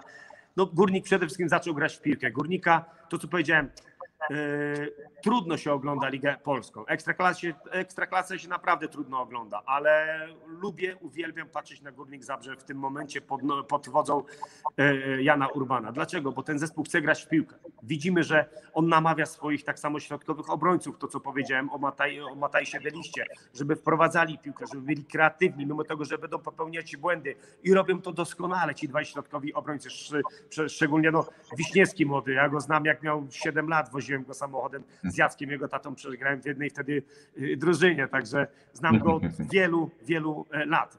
Y, Górnik idzie dobrą, e, w dobrą stronę. Górnik e, robi dobrą pracę, bo również stawia na młodzież. Zresztą muszę się pochwalić, że dwóch zawodników teraz już Górnik zakontraktował z naszej akademii. Co prawda do drugiej drużyny, ale już jeden był w drugiej drużynie u trenera Gierczaka dwa tygodnie, mm -hmm. dwa tygodnie słuchajcie, i został zaproszony już na treningi jako pełnoprawny członek pierwszego zespołu. Mateusz. Żółkowski, Mateusz Żółkowski 2003 rocznik. Zapamiętajcie to nazwisko, bardzo szybki, bardzo dynamiczny, prawo wahadłowo skrzydłowy, prawy obrońca. Będzie miał górnik z jego bardzo dużo pociechy, bo takie zwierzę, bardzo dobrze przygotowane fizycznie, piłkarsko też niezły, więc, więc górnik idzie w dobrym kierunku, górnik da się oglądać i oby większość zespołów w Polsce chciało w tym kierunku iść, czyli to, na co ja namawiam, Liga, to co mówimy, Ajax i tak dalej. Stawianie na młodzież, odważne stawianie na młodzież, yy, yy, wprowadzanie ich do grania, i, ale żeby, żeby przede wszystkim chcieli grać w piłkę. Nie to tak zwane lagowanie, bicie do przodu, druga piłka jak za moich czasów i nie się No. tam dzieje, tylko, tylko faktycznie, żeby ta młodzież się nasza rozwijała, bo, bo młodzież cały czas będę podkreślał, powtarzał i będę tego swojej tezy bronił. Mamy nie mniej utalentowaną młodzież niż, niż Niemcy, Holendrzy i tak dalej, i tak dalej. Nie mamy słabszej młodzieży, na pewno jest po prostu źle tre- trenowana. Tak, tylko że wiesz co, trochę, trochę przegrywa piłka i w ogóle sport z komputerami, konsolami, tak jak na całym świecie, w całej Europie trochę wiadomo. Wiesz co, dam ci taką historię. Mm, Byłem w Polonii Bytom w ogóle y, nie tak dawno z kamerą telewizji Katowice i e, słuchaj, znalazłem człowieka, 96 lat ma, cały czas pan e, na szczęście żyje, funkcjonuje, Władysław Kłoczko. Chłop przez 50 lat e, szukał trampkarzy i utalentowane dzieciaki w Bytomiu do Polonii właśnie Bytom znalazł sporo talentów w tym, w tym klubie przez te 50 lat. Pamięta Kazimierza Górskiego, byli kolegami w ogóle i tak dalej, bo to wiesz, Lwów, Polonia, Bytom i tak dalej. Ale o czym, o czym innym y, i się go zapytałem właśnie, jak on w ogóle widzi przyszłość teraz piłki. Taki duży wywiad polecam z nim, z nim będzie w telewizji w ogóle ten wywiad, ale, ale po, powiedział, że po prostu boli go to, że teraz mało jest tych dzieciaków, które się garnie do, do piłki, że on jak y, widzi te boiska gdzieś tam, jak idzie do domu, na których kiedyś, wiesz, po 20 i w zasadzie z czego czterech gotowych do klubu, tak teraz no naprawdę mm, mamy to wąskie gardło, to nie jest takie proste, że, że wiesz, że tych chłopców grających w piłkę jest, jest wbrew pozorom tak dużo. I co jeszcze powiedział, nie wiem czy się z tym zgodzisz, że właśnie, że podwórko, podwórko, tak, dużo, dużo daje to granie na podwórkach, zanim przyjdziesz do klubu, przyjdziesz do akademii, to musisz grać z kolegami, no, gdzieś ta pasja się musi e, zacząć. Wiesz, to kilka przykładów. Tam, gdzie trenujemy z naszą młodzieżą, jest taki smutny Mhm. pan, tak jak był kiedyś u moich dziadków, jak ja grałem w piłkę i, i, i, i był płot na, na, na podwórku i jak ta piłka wypadła mi do tego sąsiada, to on tylko czekał ze scyzorykiem, żeby im tą piłkę przebić, a piłka była jedna na całej Masakra. wiosce i więcej nie było. Więc jakim trzeba było być czujnym, żeby ta piłka nie wyleciała mu za ogrodzenie. Albo byłeś szybki, sprawny, żeby przeskoczyć, zabrać, bo jak się spóźniłeś, to miałeś po piłce. No teraz faktycznie, na przykład, drugi przykład. Trener na największym odliku, który jest pod balonem. I pan do nas mówi, nie Mhm. wchodzimy w lankach. Do młodzieży. No to przepraszam, to w czym mamy wchodzić? No właśnie. W lakierkach? No a dla kogo to jest robione? I się pytam, a jakie jest obłożenie tego boiska? No tak w 60%. A dlaczego nie w 100%? To dla kogo to jest właśnie. budowane? I tak dalej, i tak dalej. Orliki są pozamykane. Y, Przykład kolejny. Stratę Futbol w Holandii. W Holandii każdy zawodowy piłkarz, każdy, uwierzcie mi, grał na podwórku. Gra jeszcze na podwórku. Oni się bawią piłką. Edgar Davis do dzisiaj gra na podwórku, bawi się piłką. Słuchajcie, Verratti y, mówi, że jak wraca w swoje rodzinne strony, to bierze buty, trampki te przysłowiowe i idzie z kolegami na asfalt grać w piłkę, bo tak go to cieszy. A Mbappé, Mbappé gdzie się uczył grać y, w piłkę? Słuchajcie, no to podwórko, y, y, to podwórko uczy, podwórko wychowuje. Nie wiem, czy ja wspominałem u ciebie tą bazę AZ Alkmaar. Wspominałem chyba, Tak, jakie tam są Tak, rozmawialiśmy. asfalt, boisko do gry w siatkówkę, jakiś tam żużel i tak dalej, i jakiś kawałek trawy. Tam się uczą grać w piłkę. No jeżeli my do tego nie wrócimy, no to będzie kłopot. No ale jeżeli ja słyszę od jednego z ważniejszych polityków w tym kraju, że my będziemy teraz promować i stawiać na e-sport, no to, no to jeżeli my tych dzieciaków, no to przepraszam, to jest skrajnie nieodpowiedzialne i zgadzam się z tym, z tobą i z tym panem 96-letnim w 100%, bo jeżeli my tego nie zmienimy, tego, tej tendencji takiej, że te dzieciaki nie będziemy wyciągać z domu, ale nie, nie stworzymy ich te, im też możliwości, to za 20 lat, za 30 lat nie będzie komu trenować. Po prostu piłka nożna z, z, zrobi się sportem elitarnym, a to jest sport dla wszystkich, dla ludu. Tutaj każdy może osiągnąć sukces. Mbappé wymieniany, to jest człowiek z bardzo biednej rodziny. Ci wszyscy Brazylijczycy i tak dalej. Od Ronaldinho zaczynając. Romario, Adriano, Adriano, to są ludzie z biednych, z biednych rodzin.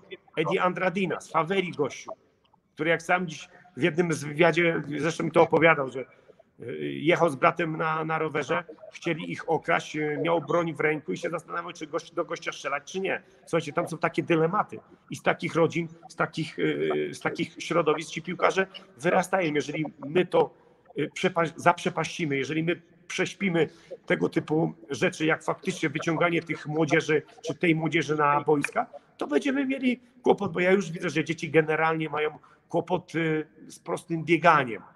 Piłka nożna to jest bieganie, a nasze dzieci mają kłopoty z bieganiem. Jeżeli się za to y, jako naród, jako kraj nie weźmiemy, jako społeczeństwo, no to będzie to szło tylko i wyłącznie ku, ku gorszemu. Zdecydowanie, wiesz co, próbuję zaprosić, może mi się uda, ministra sportu Kamila mm, Bortniczuka, no bo generalnie myślę, że to do niego jest wiele pytań To powiedz, być. to wiesz, co, mu- to wiesz co mu powiedz? że Dawaj, ja, zapiszę sobie. szkoląc, że ja szkoląc, trenując młodzież, żeby z nimi trenować y, na boisku sztucznym wieczorem, bo nie ma balonów i tak dalej, ja muszę zapłacić 700 zł za boisko. No, no, No to o czym my w ogóle, o czym my w ogóle rozmawiamy? Za jeden trening, żeby była jasność. no, za jeden trening. No, Żeby, żeby była jasność, to o czym my w ogóle, to jak ja mamy szkolić młodzież? Jak my mamy szkolić młodzież? Nie wszystkich stać na to, żeby składki płacić, nie wszystkich stać na to, żeby, żeby rodzice ich utrzymywali i tak dalej, bo to są ogromne wydatki. Sam jestem rodzicem trójki dzieci, wiem, więc wiem o czym, o czym mówimy. Jeżeli oni z tym czegoś nie zrobią, na zachodzie boiska są ogólnodostępne. Niemcy, Holandia, Belgia, tam są boiska Orliki, to są oświetlone, otwarte, wchodźcie, grajcie. U nas są nie, nieoświetlone i zamknięte. No to ja przepraszam. No Właśnie. I jak my mamy zbudować silny sport, Andrzej? Jak my mamy zbudować silny sport? Tego się nie da zrobić. Tego się nie da zrobić w ten, w ten sposób i zawsze będziemy się gdzieś do jakiegoś przypadku uciekali, wiesz, do jakiś tego, że ktoś y, przeciwko systemowi coś zrobi, a nie, y, wiesz, zgodnie z systemem. No tak to, tak to po prostu y, wygląda, więc no niestety, wygląda to tak, jak wygląda, no i SKS-y, chociażby SKS-y w szkołach, przecież to kiedyś była y, bardzo ważna rzecz, teraz tego nie ma, to zostało zaprzepaszczone w ogóle.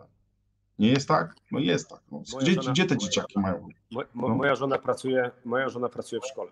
Uczy dzieciaki. No, I też mówi, jak te dzieciaki biegają. Nie, one nie potrafią biegać. Oni przysiadów nie potrafią zrobić. SKS-y to była genialna rzecz.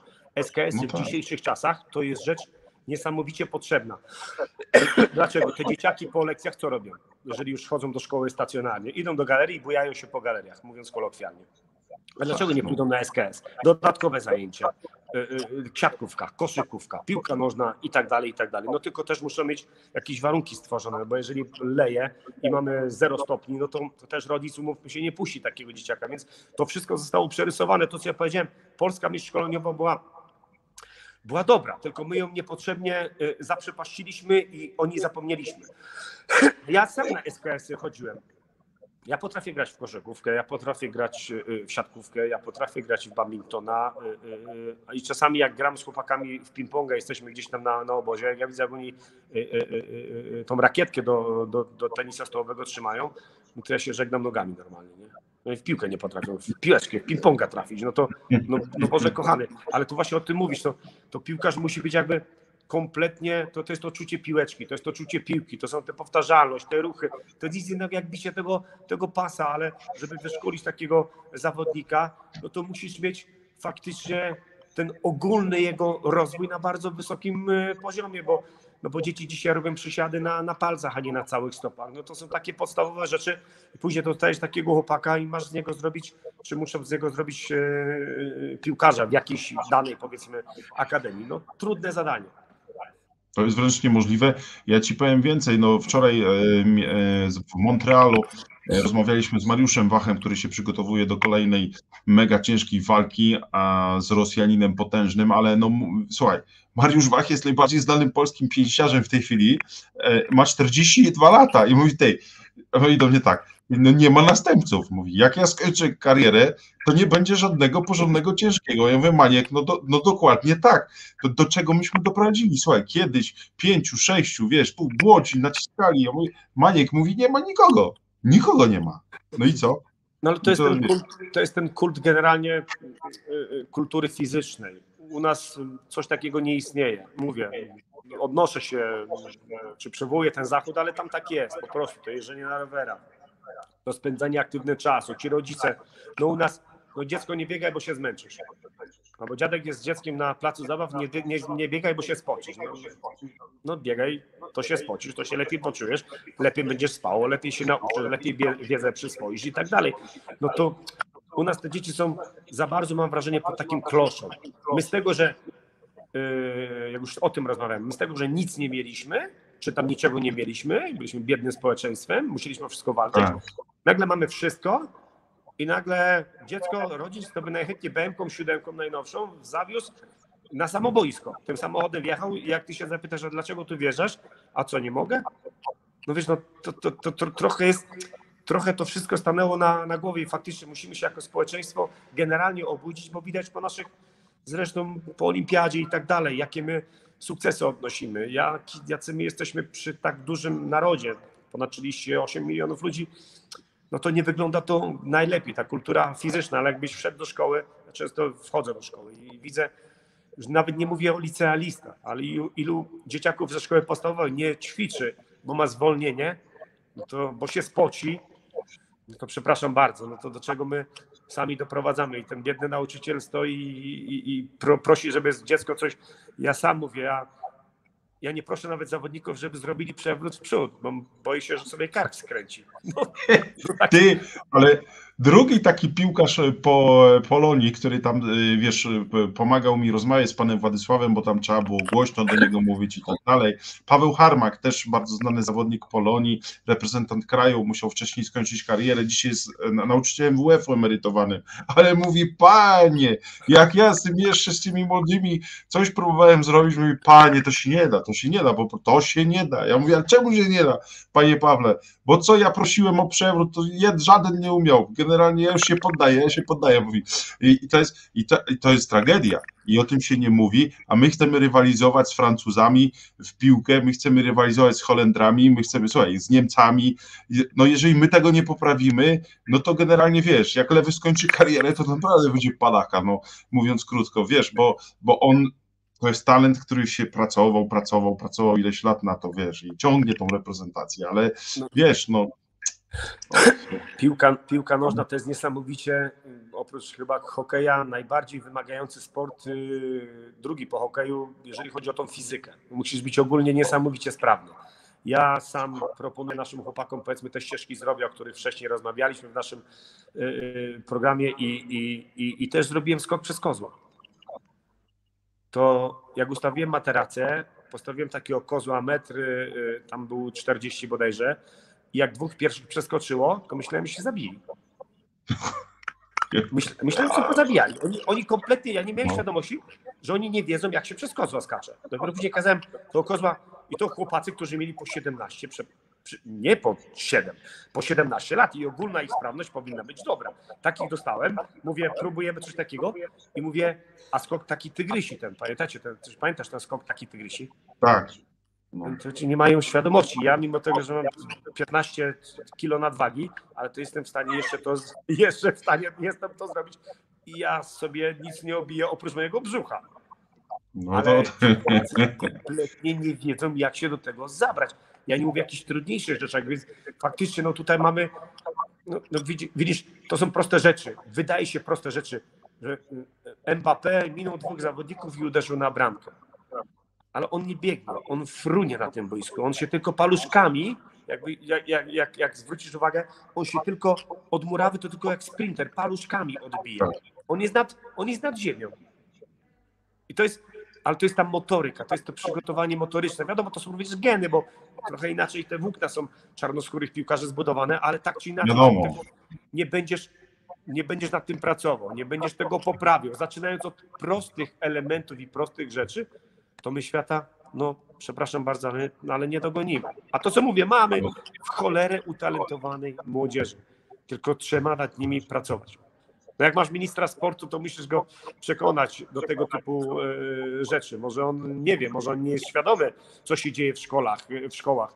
Czyli ilu, ilu chłopaków, ile dziewczynek e, zwalnia się z lekcji wychowania fizycznego. A przepraszam, ale dlaczego wychowanie fizyczne jest gorszy od języka polskiego na przykład, czy od Ja matematyki. ci, wiesz, wie- wiesz, na czym polega tragedia naszej polityki, że na przykład taki minister sportu, moim zdaniem, to żeby wprowadzić zmiany takie poważne, no to powinien być minimum 4 lata, nie? 4 czy 5, żeby mieć, wiesz o co chodzi, żeby mieć jakiś swój plan na to ministerstwo, coś tam zaplanować, jakieś wydatki, rozumiesz? Mieć, Tak. a jeżeli minister, minister sportu zmienia się co pół roku, to co on może? On sobie może coś wymyśleć, ale przyjdzie następny minister i inny tam, wiesz, zmieni się rząd, wiesz o co chodzi. Tak naprawdę też jest zawsze ten sport u nas to jest traktowany jako taki najgorszy. To jest ostatni sort, o którym się mówi, rozmawia.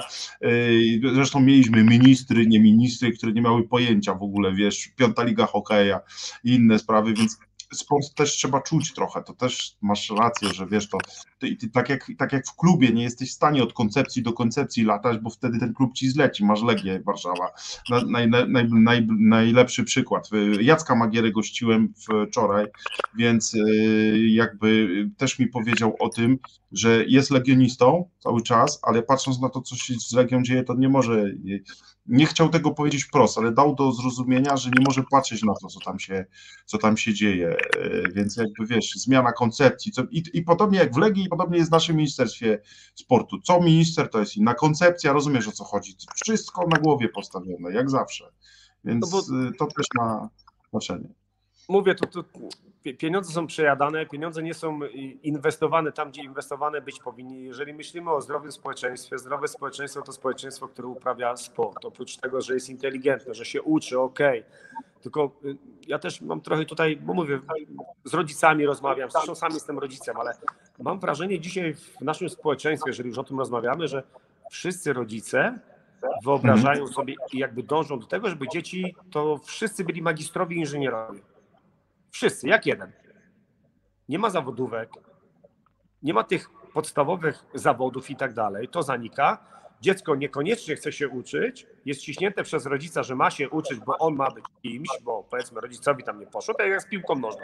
Masz trenować, bo ty masz grać w piłkę, bo mi nie poszło. Ale dziecko mówi, tata, ile takich przykładów, ale ja nie chcę.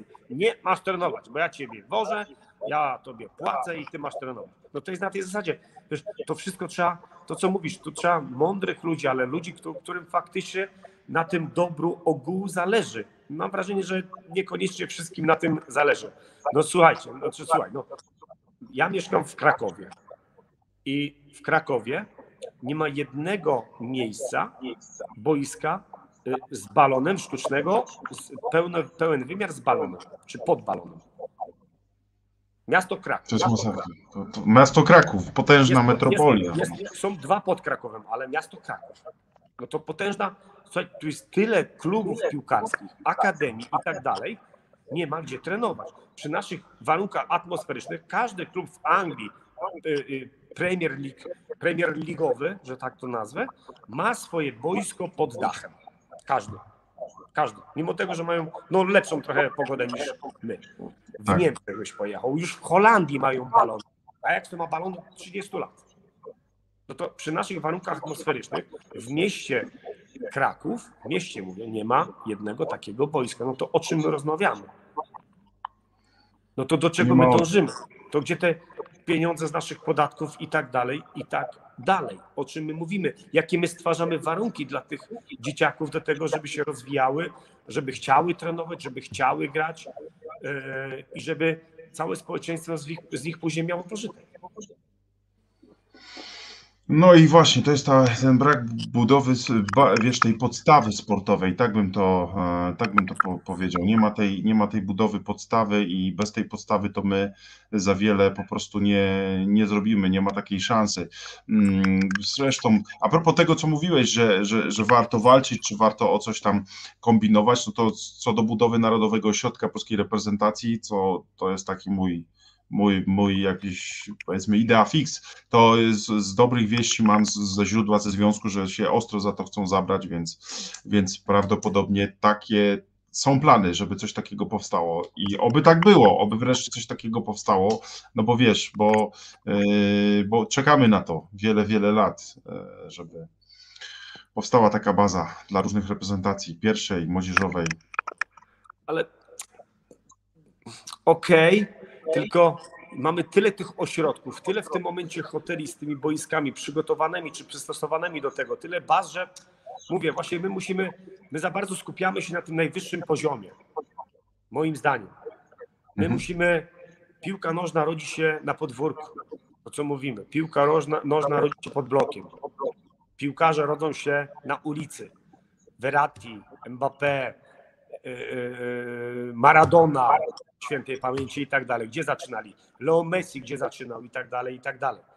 My o tym zapominamy. My mamy stadiony, mamy przepiękne i tak dalej. Coraz większe, lepsze bazy mają te kluby piłkarskie, ale zapominamy o tej piłce ogólnodostępnej. Jeżeli my tutaj czegoś nie zrobimy i ona nie będzie ogólnodostępna, to nie będziemy wyławiać talentów czy talenty, bo nie każdego jest stać, czy nie każdy jest w stanie dojechać. No, w Krakowie, żeby dojechać z jednego miejsca na drugi, nawet nie chodzi o, może nawet u wszystkich o kwestie finansowe, ale żeby dojechać na trening, to potrzebujesz półtora godziny w jedną stronę, żeby gdziekolwiek dojechać.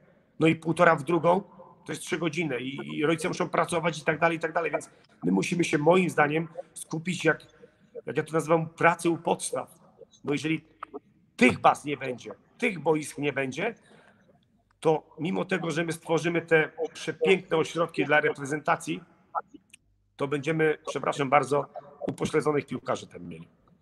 No Nie, i, to, i tutaj tu mamy taką smutną puentę, żeby rozweselić trochę naszych widzów. Na koniec to powiedz, czy dobry był catering w Paryżu, bo czy dla dziennikarzy, dla, dla, dla komentatorów dobrze się najadłeś, czy nie, bo to różnie z tym bywa, ale myślę, że w Paryżu to, to, to, to dobre jedzonko było, czy nie? Jak to wyglądało? Przeziębiłem się, przepraszam, No. że kaszla się No przeziębiłem, było st- strasznie zimno. Catering Aha. był fatalny. Jak Co ty na gadasz? Jak na te miliony. Nie, no dlatego właśnie to warto o takich rzeczach rozmawiać. Jedna mała woda, Serio? kawa taka, kawa taka psiura, że tego się nie dało pić, taka lura, że tego się nie dało pić. Masakra. E, Jedna kanapka i Mhm. kawałek jakiejś takiej y, sałateczki. No to że ja narzekam, bo ja to tam wszystko żerny jestem, nie ma problemu. Ja też nie, ale... Ale jak na takie wydarzenie, słabe.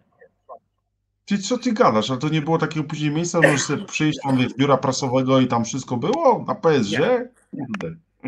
Masakra. To rzeczywiście, to warunki pracy, e, mówiąc krótko, fatalne. Słychać, że trochę jesteś przeziębiony, Andrzejku, także słuchaj, kuruj się, kuruj się, co? Halo, halo? Musimy kończyć, bo tracę głos. No właśnie, kuruj się, słuchaj, spokojnie, ciepły prysznic, w kontakcie jesteśmy cały czas. Bardzo Ci dziękuję za e, dzisiaj. Także zdrowiej. No. Dziękuję bardzo. Dziękuję. Trzymaj się, do zobaczenia. Na razie e, Andrzej Niedzielan był naszym gościem. Jutro Kazimierz Węgrzyn, także kolejny bardzo fajny e, komentator, współkomentator, kokomentator, jak niektórzy też e, mówią, ekspert telewizyjny telewizji polskiej, który wiele lat spędził w kanalu Plus. Mm, Także generalnie rzecz ujmując, będzie się jutro działo na vlogu Cioną po oczach. Simon KSG pisze, najlepszy catering był na Odrze Wolisław, chleb ze smalcem, ogórek kiszony, flaki i bigosik. O panie, to rzeczywiście bardzo dobry catering. Słuchajcie, jak zwykle na koniec zadzwonimy do y, naszego stałego eksperta mm, z tygodnika Piłka Nożna. Subskrybujcie, lajkujcie kanał Cioną po oczach. E, Generalnie rzecz ujmując, myślę, że treści bardzo fajne. E, Także i dzisiaj można było bardzo dużo z tej dyskusji z Andrzejem Niedzielanem wyciągnąć dla siebie.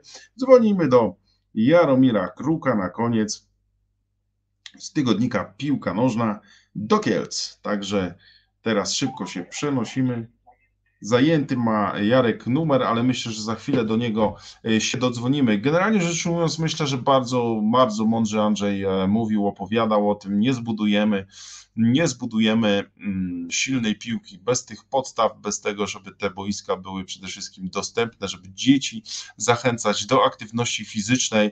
E, Będziemy o takich rzeczach mówić na vlogu Cioną po oczach, dlatego że ważny jest też ten element edukacyjny, ważny jest też ten element, powiedziałbym, misyjny, w, i prawdziwie misyjny w mediach obywatelskich, takich jak Cioną po oczach. E, Michał Domrowski pisze, że kółko żeńcowe mam to w dupie. Em, Spokojnie, nie zrażam się, rzeczywiście dzisiaj trochę mniej osób, może dlatego, że Janusz Korwin-Mikke jest w kanale sportowym, trochę też meczów było, ale myślę, że każdy może sobie też odtworzyć naszą rozmowę mm, po prostu z, z puszki, która jest przecież na YouTubie, więc spokojnie, spokojnie, jutro naprawdę jeszcze raz z ogłoszeń parafialnych Kazimierz e, Węgrzyn. Mm, ja myślę, że tak, rzeczywiście może cieszyć forma naszych kadrowiczów, ale najważniejsze będzie, e, żeby mm, po pierwsze wiedzieć, gdzie ten mecz e, barażowy się odbędzie, czy na terenie neutralnym, czy w Moskwie. Moim zdaniem ten mecz się odbędzie, ale nie w Moskwie. Dzwoni do nas Jaromir Kruk z tygodnika Piłko Nożna, także już odbiera. Witam cię serdecznie. Jarku, jesteś na antenie. Witam, witam. Dobry wieczór. No dużo, dużo z Andrzejem Niedzielanem poruszyliśmy wątków. Fatalny catering na PSG też. Notabene, także czym mnie bardzo zdziwił. No, zwykle fatalny był catering. To akurat francuska organizacja, francuska organizacja mnie, mnie specjalnie dziwi. Tutaj jest zawsze, pamiętam jak na Euro 2016 wielu stewardów miało problem z przekazaniem, gdzie co się mieści i naprawdę tam był, tak powiedziałbym, bajzelek. Bajzelek. Którzy sobie improwizują, bo i, i tak im się wydaje, że są najlepszą nacją, także wszyscy i wydaje mi się, że są pępkiem świata. A tak dzisiaj a propos programu, nie oglądałem dokładnie całego, ale przeglądałem i miałem wrażenie, że nie jestem nacioną po oczach, tylko niedzielanym po oczach, bo Andrzej miał całkowicie inicjatywę. A to dobrze, słuchaj, ja, ja czasami lubię oddać, jeżeli gość mówi mądrze. Bardzo dobry zawodnik, bardzo dobry zawodnik. Bardzo dobry zawodnik. Słuchaj, jeżeli gość mówi mądrze i fajnie no go tak, posłuchać, Niedziela mówi mądrze. To ja nie. nie wersja niedzielanym po oczach dzisiaj była. po oczach ciony. Ja myślę, że Andrzej naprawdę, zresztą jest jednym z lepszych ekspertów telewizyjnych, e, co absolutna czołówka top, e, a jutro Kazimierz Węgrzyn, także niezwykle ciekawa e, postać. Klasa. Klasa, totalnie. Jakie masz wspomnienia z Kazimierzem Węgrzynem? Powiedz, czy przeprowadzałeś z nim sporo wywiadów? Jeżeli tak, to gdzie i kiedy? No i opowiedz trochę o tej postaci. Przeprowadzałem z nim, powiem Ci tak, że jak grał w Hutniku Kraków, Mhm. jeszcze nawet że jak byłem nastolatkiem, to przeprowadzałem z nim jeszcze wywiad. Później przeprowadzałem z nim jak e, grał w Wiśle Kraków, w Lid na reprezentacji. No i tam wiele rozmów takich oczywiście, szczególnie podczas ostatniego, ostatnich finałów Mistrzostw Europy wiele razy. Fajny człowiek, bardzo pozytywny człowiek, który tak się wkręca w tą piłkę pozytywnie i stara się, no stara się pokazywać tak jak jest. Emocjonuje się bardzo, tak jakbym powiedział, jak, jak małe dziecko, ale to w pozytywnym sensie. Także to jest bardzo, bardzo pozytywna jednostka. Bardzo pozytywna jednostka. I myślę, że program z nim będzie ciekawy. Już Można mu parę anegdotek rzucić jeszcze jakiś ciekawy. 100%, także możemy, mm, możemy się już na to e, przygotować. Jarku, czy wracając jeszcze do Ligi Mistrzów, Ligi Europy, czy coś Cię zaskoczyło w tych wynikach? Byłeś zdziwiony, że mm, akurat tak się potoczyła, nie inaczej. Przypomnijmy, Barcelona, Napoli 1 do 1, Rangersi pokonali 4 do 2 Borussię Dortmund, Sheriff pokonał Bragę 2-0, Zenit przegrał z Betisem 3 do 2 u siebie, no jeszcze trwa Atalanta Olympiakos 80 minuta 2 do 1, Porto Lazio 2 do 1, Leipzig Sociedad 2-1 dla Realu Sociedad na razie, ale tam jest 79 minuta. No i Sevilla prowadzi już 3 do 1 z Dinamem Zagrzeb u siebie. Czy coś z tych wyników też z Ligi Mistrzów czy z Ligi Europy hmm, Ciebie zaskoczyło? Jeżeli chodzi o Ligę Mistrzów, no to może za nisko PSG wygrało z Realem Madryt. Mhm. Powinno może wygrać wyżej.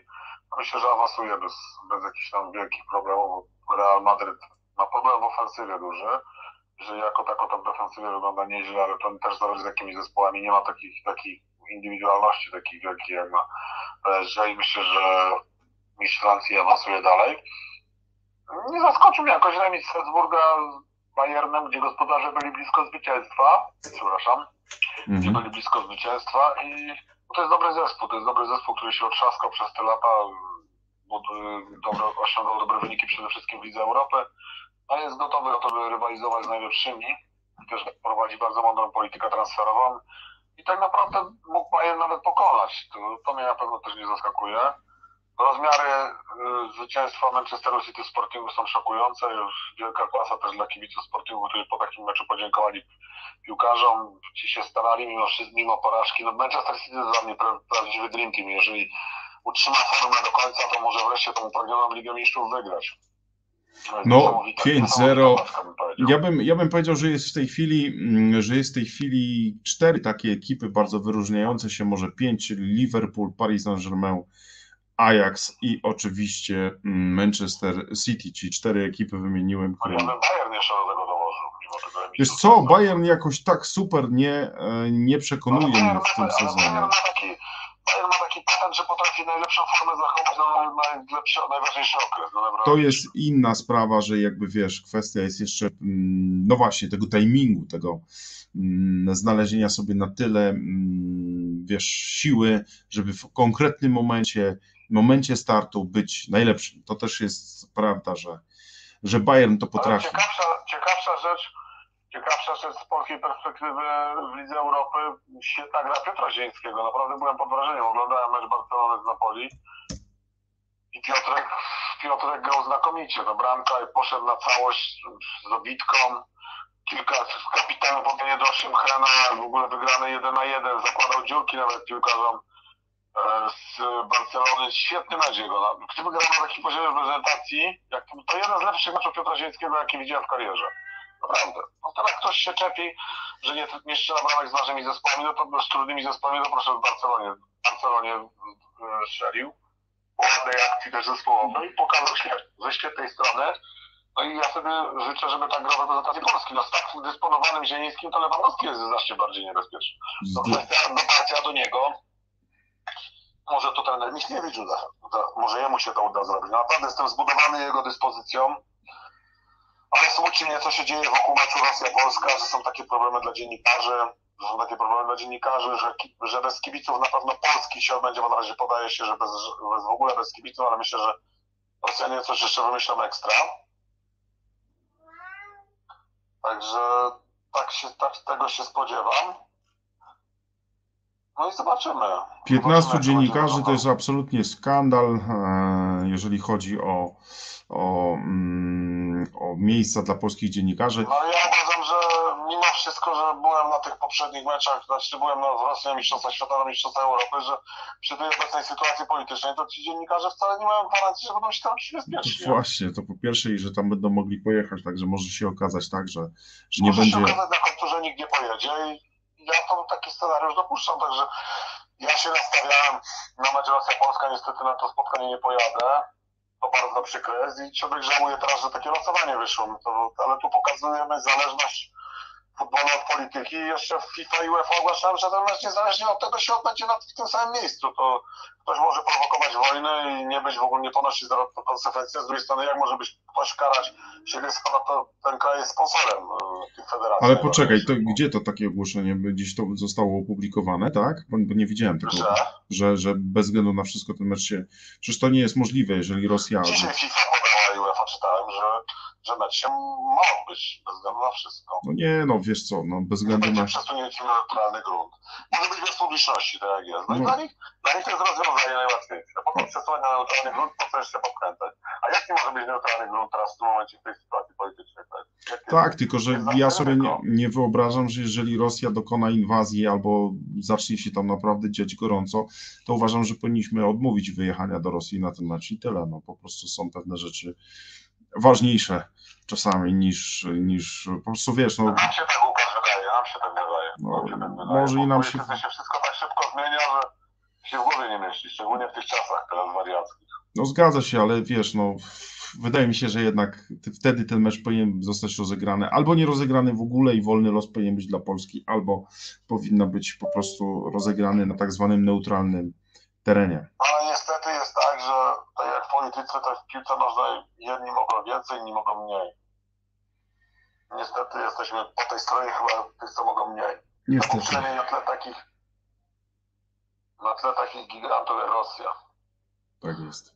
Smutnych gigantów. Bardzo Ci dziękuję. Jaromir Kruk z tygodnika Piłka Nożna był naszym gościem. wieczoru Trzymaj się. Dobranoc. Hej.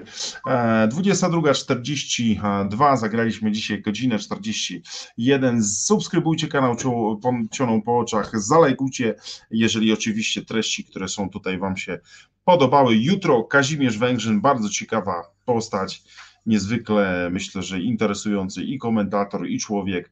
Także jutro będzie się dużo działo na vlogu Cioną po. Startujemy o 22.00 15 tym razem e, dostosowaliśmy się trochę do pana Kazimierza, także myślę, że jutro będzie się działo bardzo, bardzo dużo. Trzymajcie się, do zobaczenia. Salut.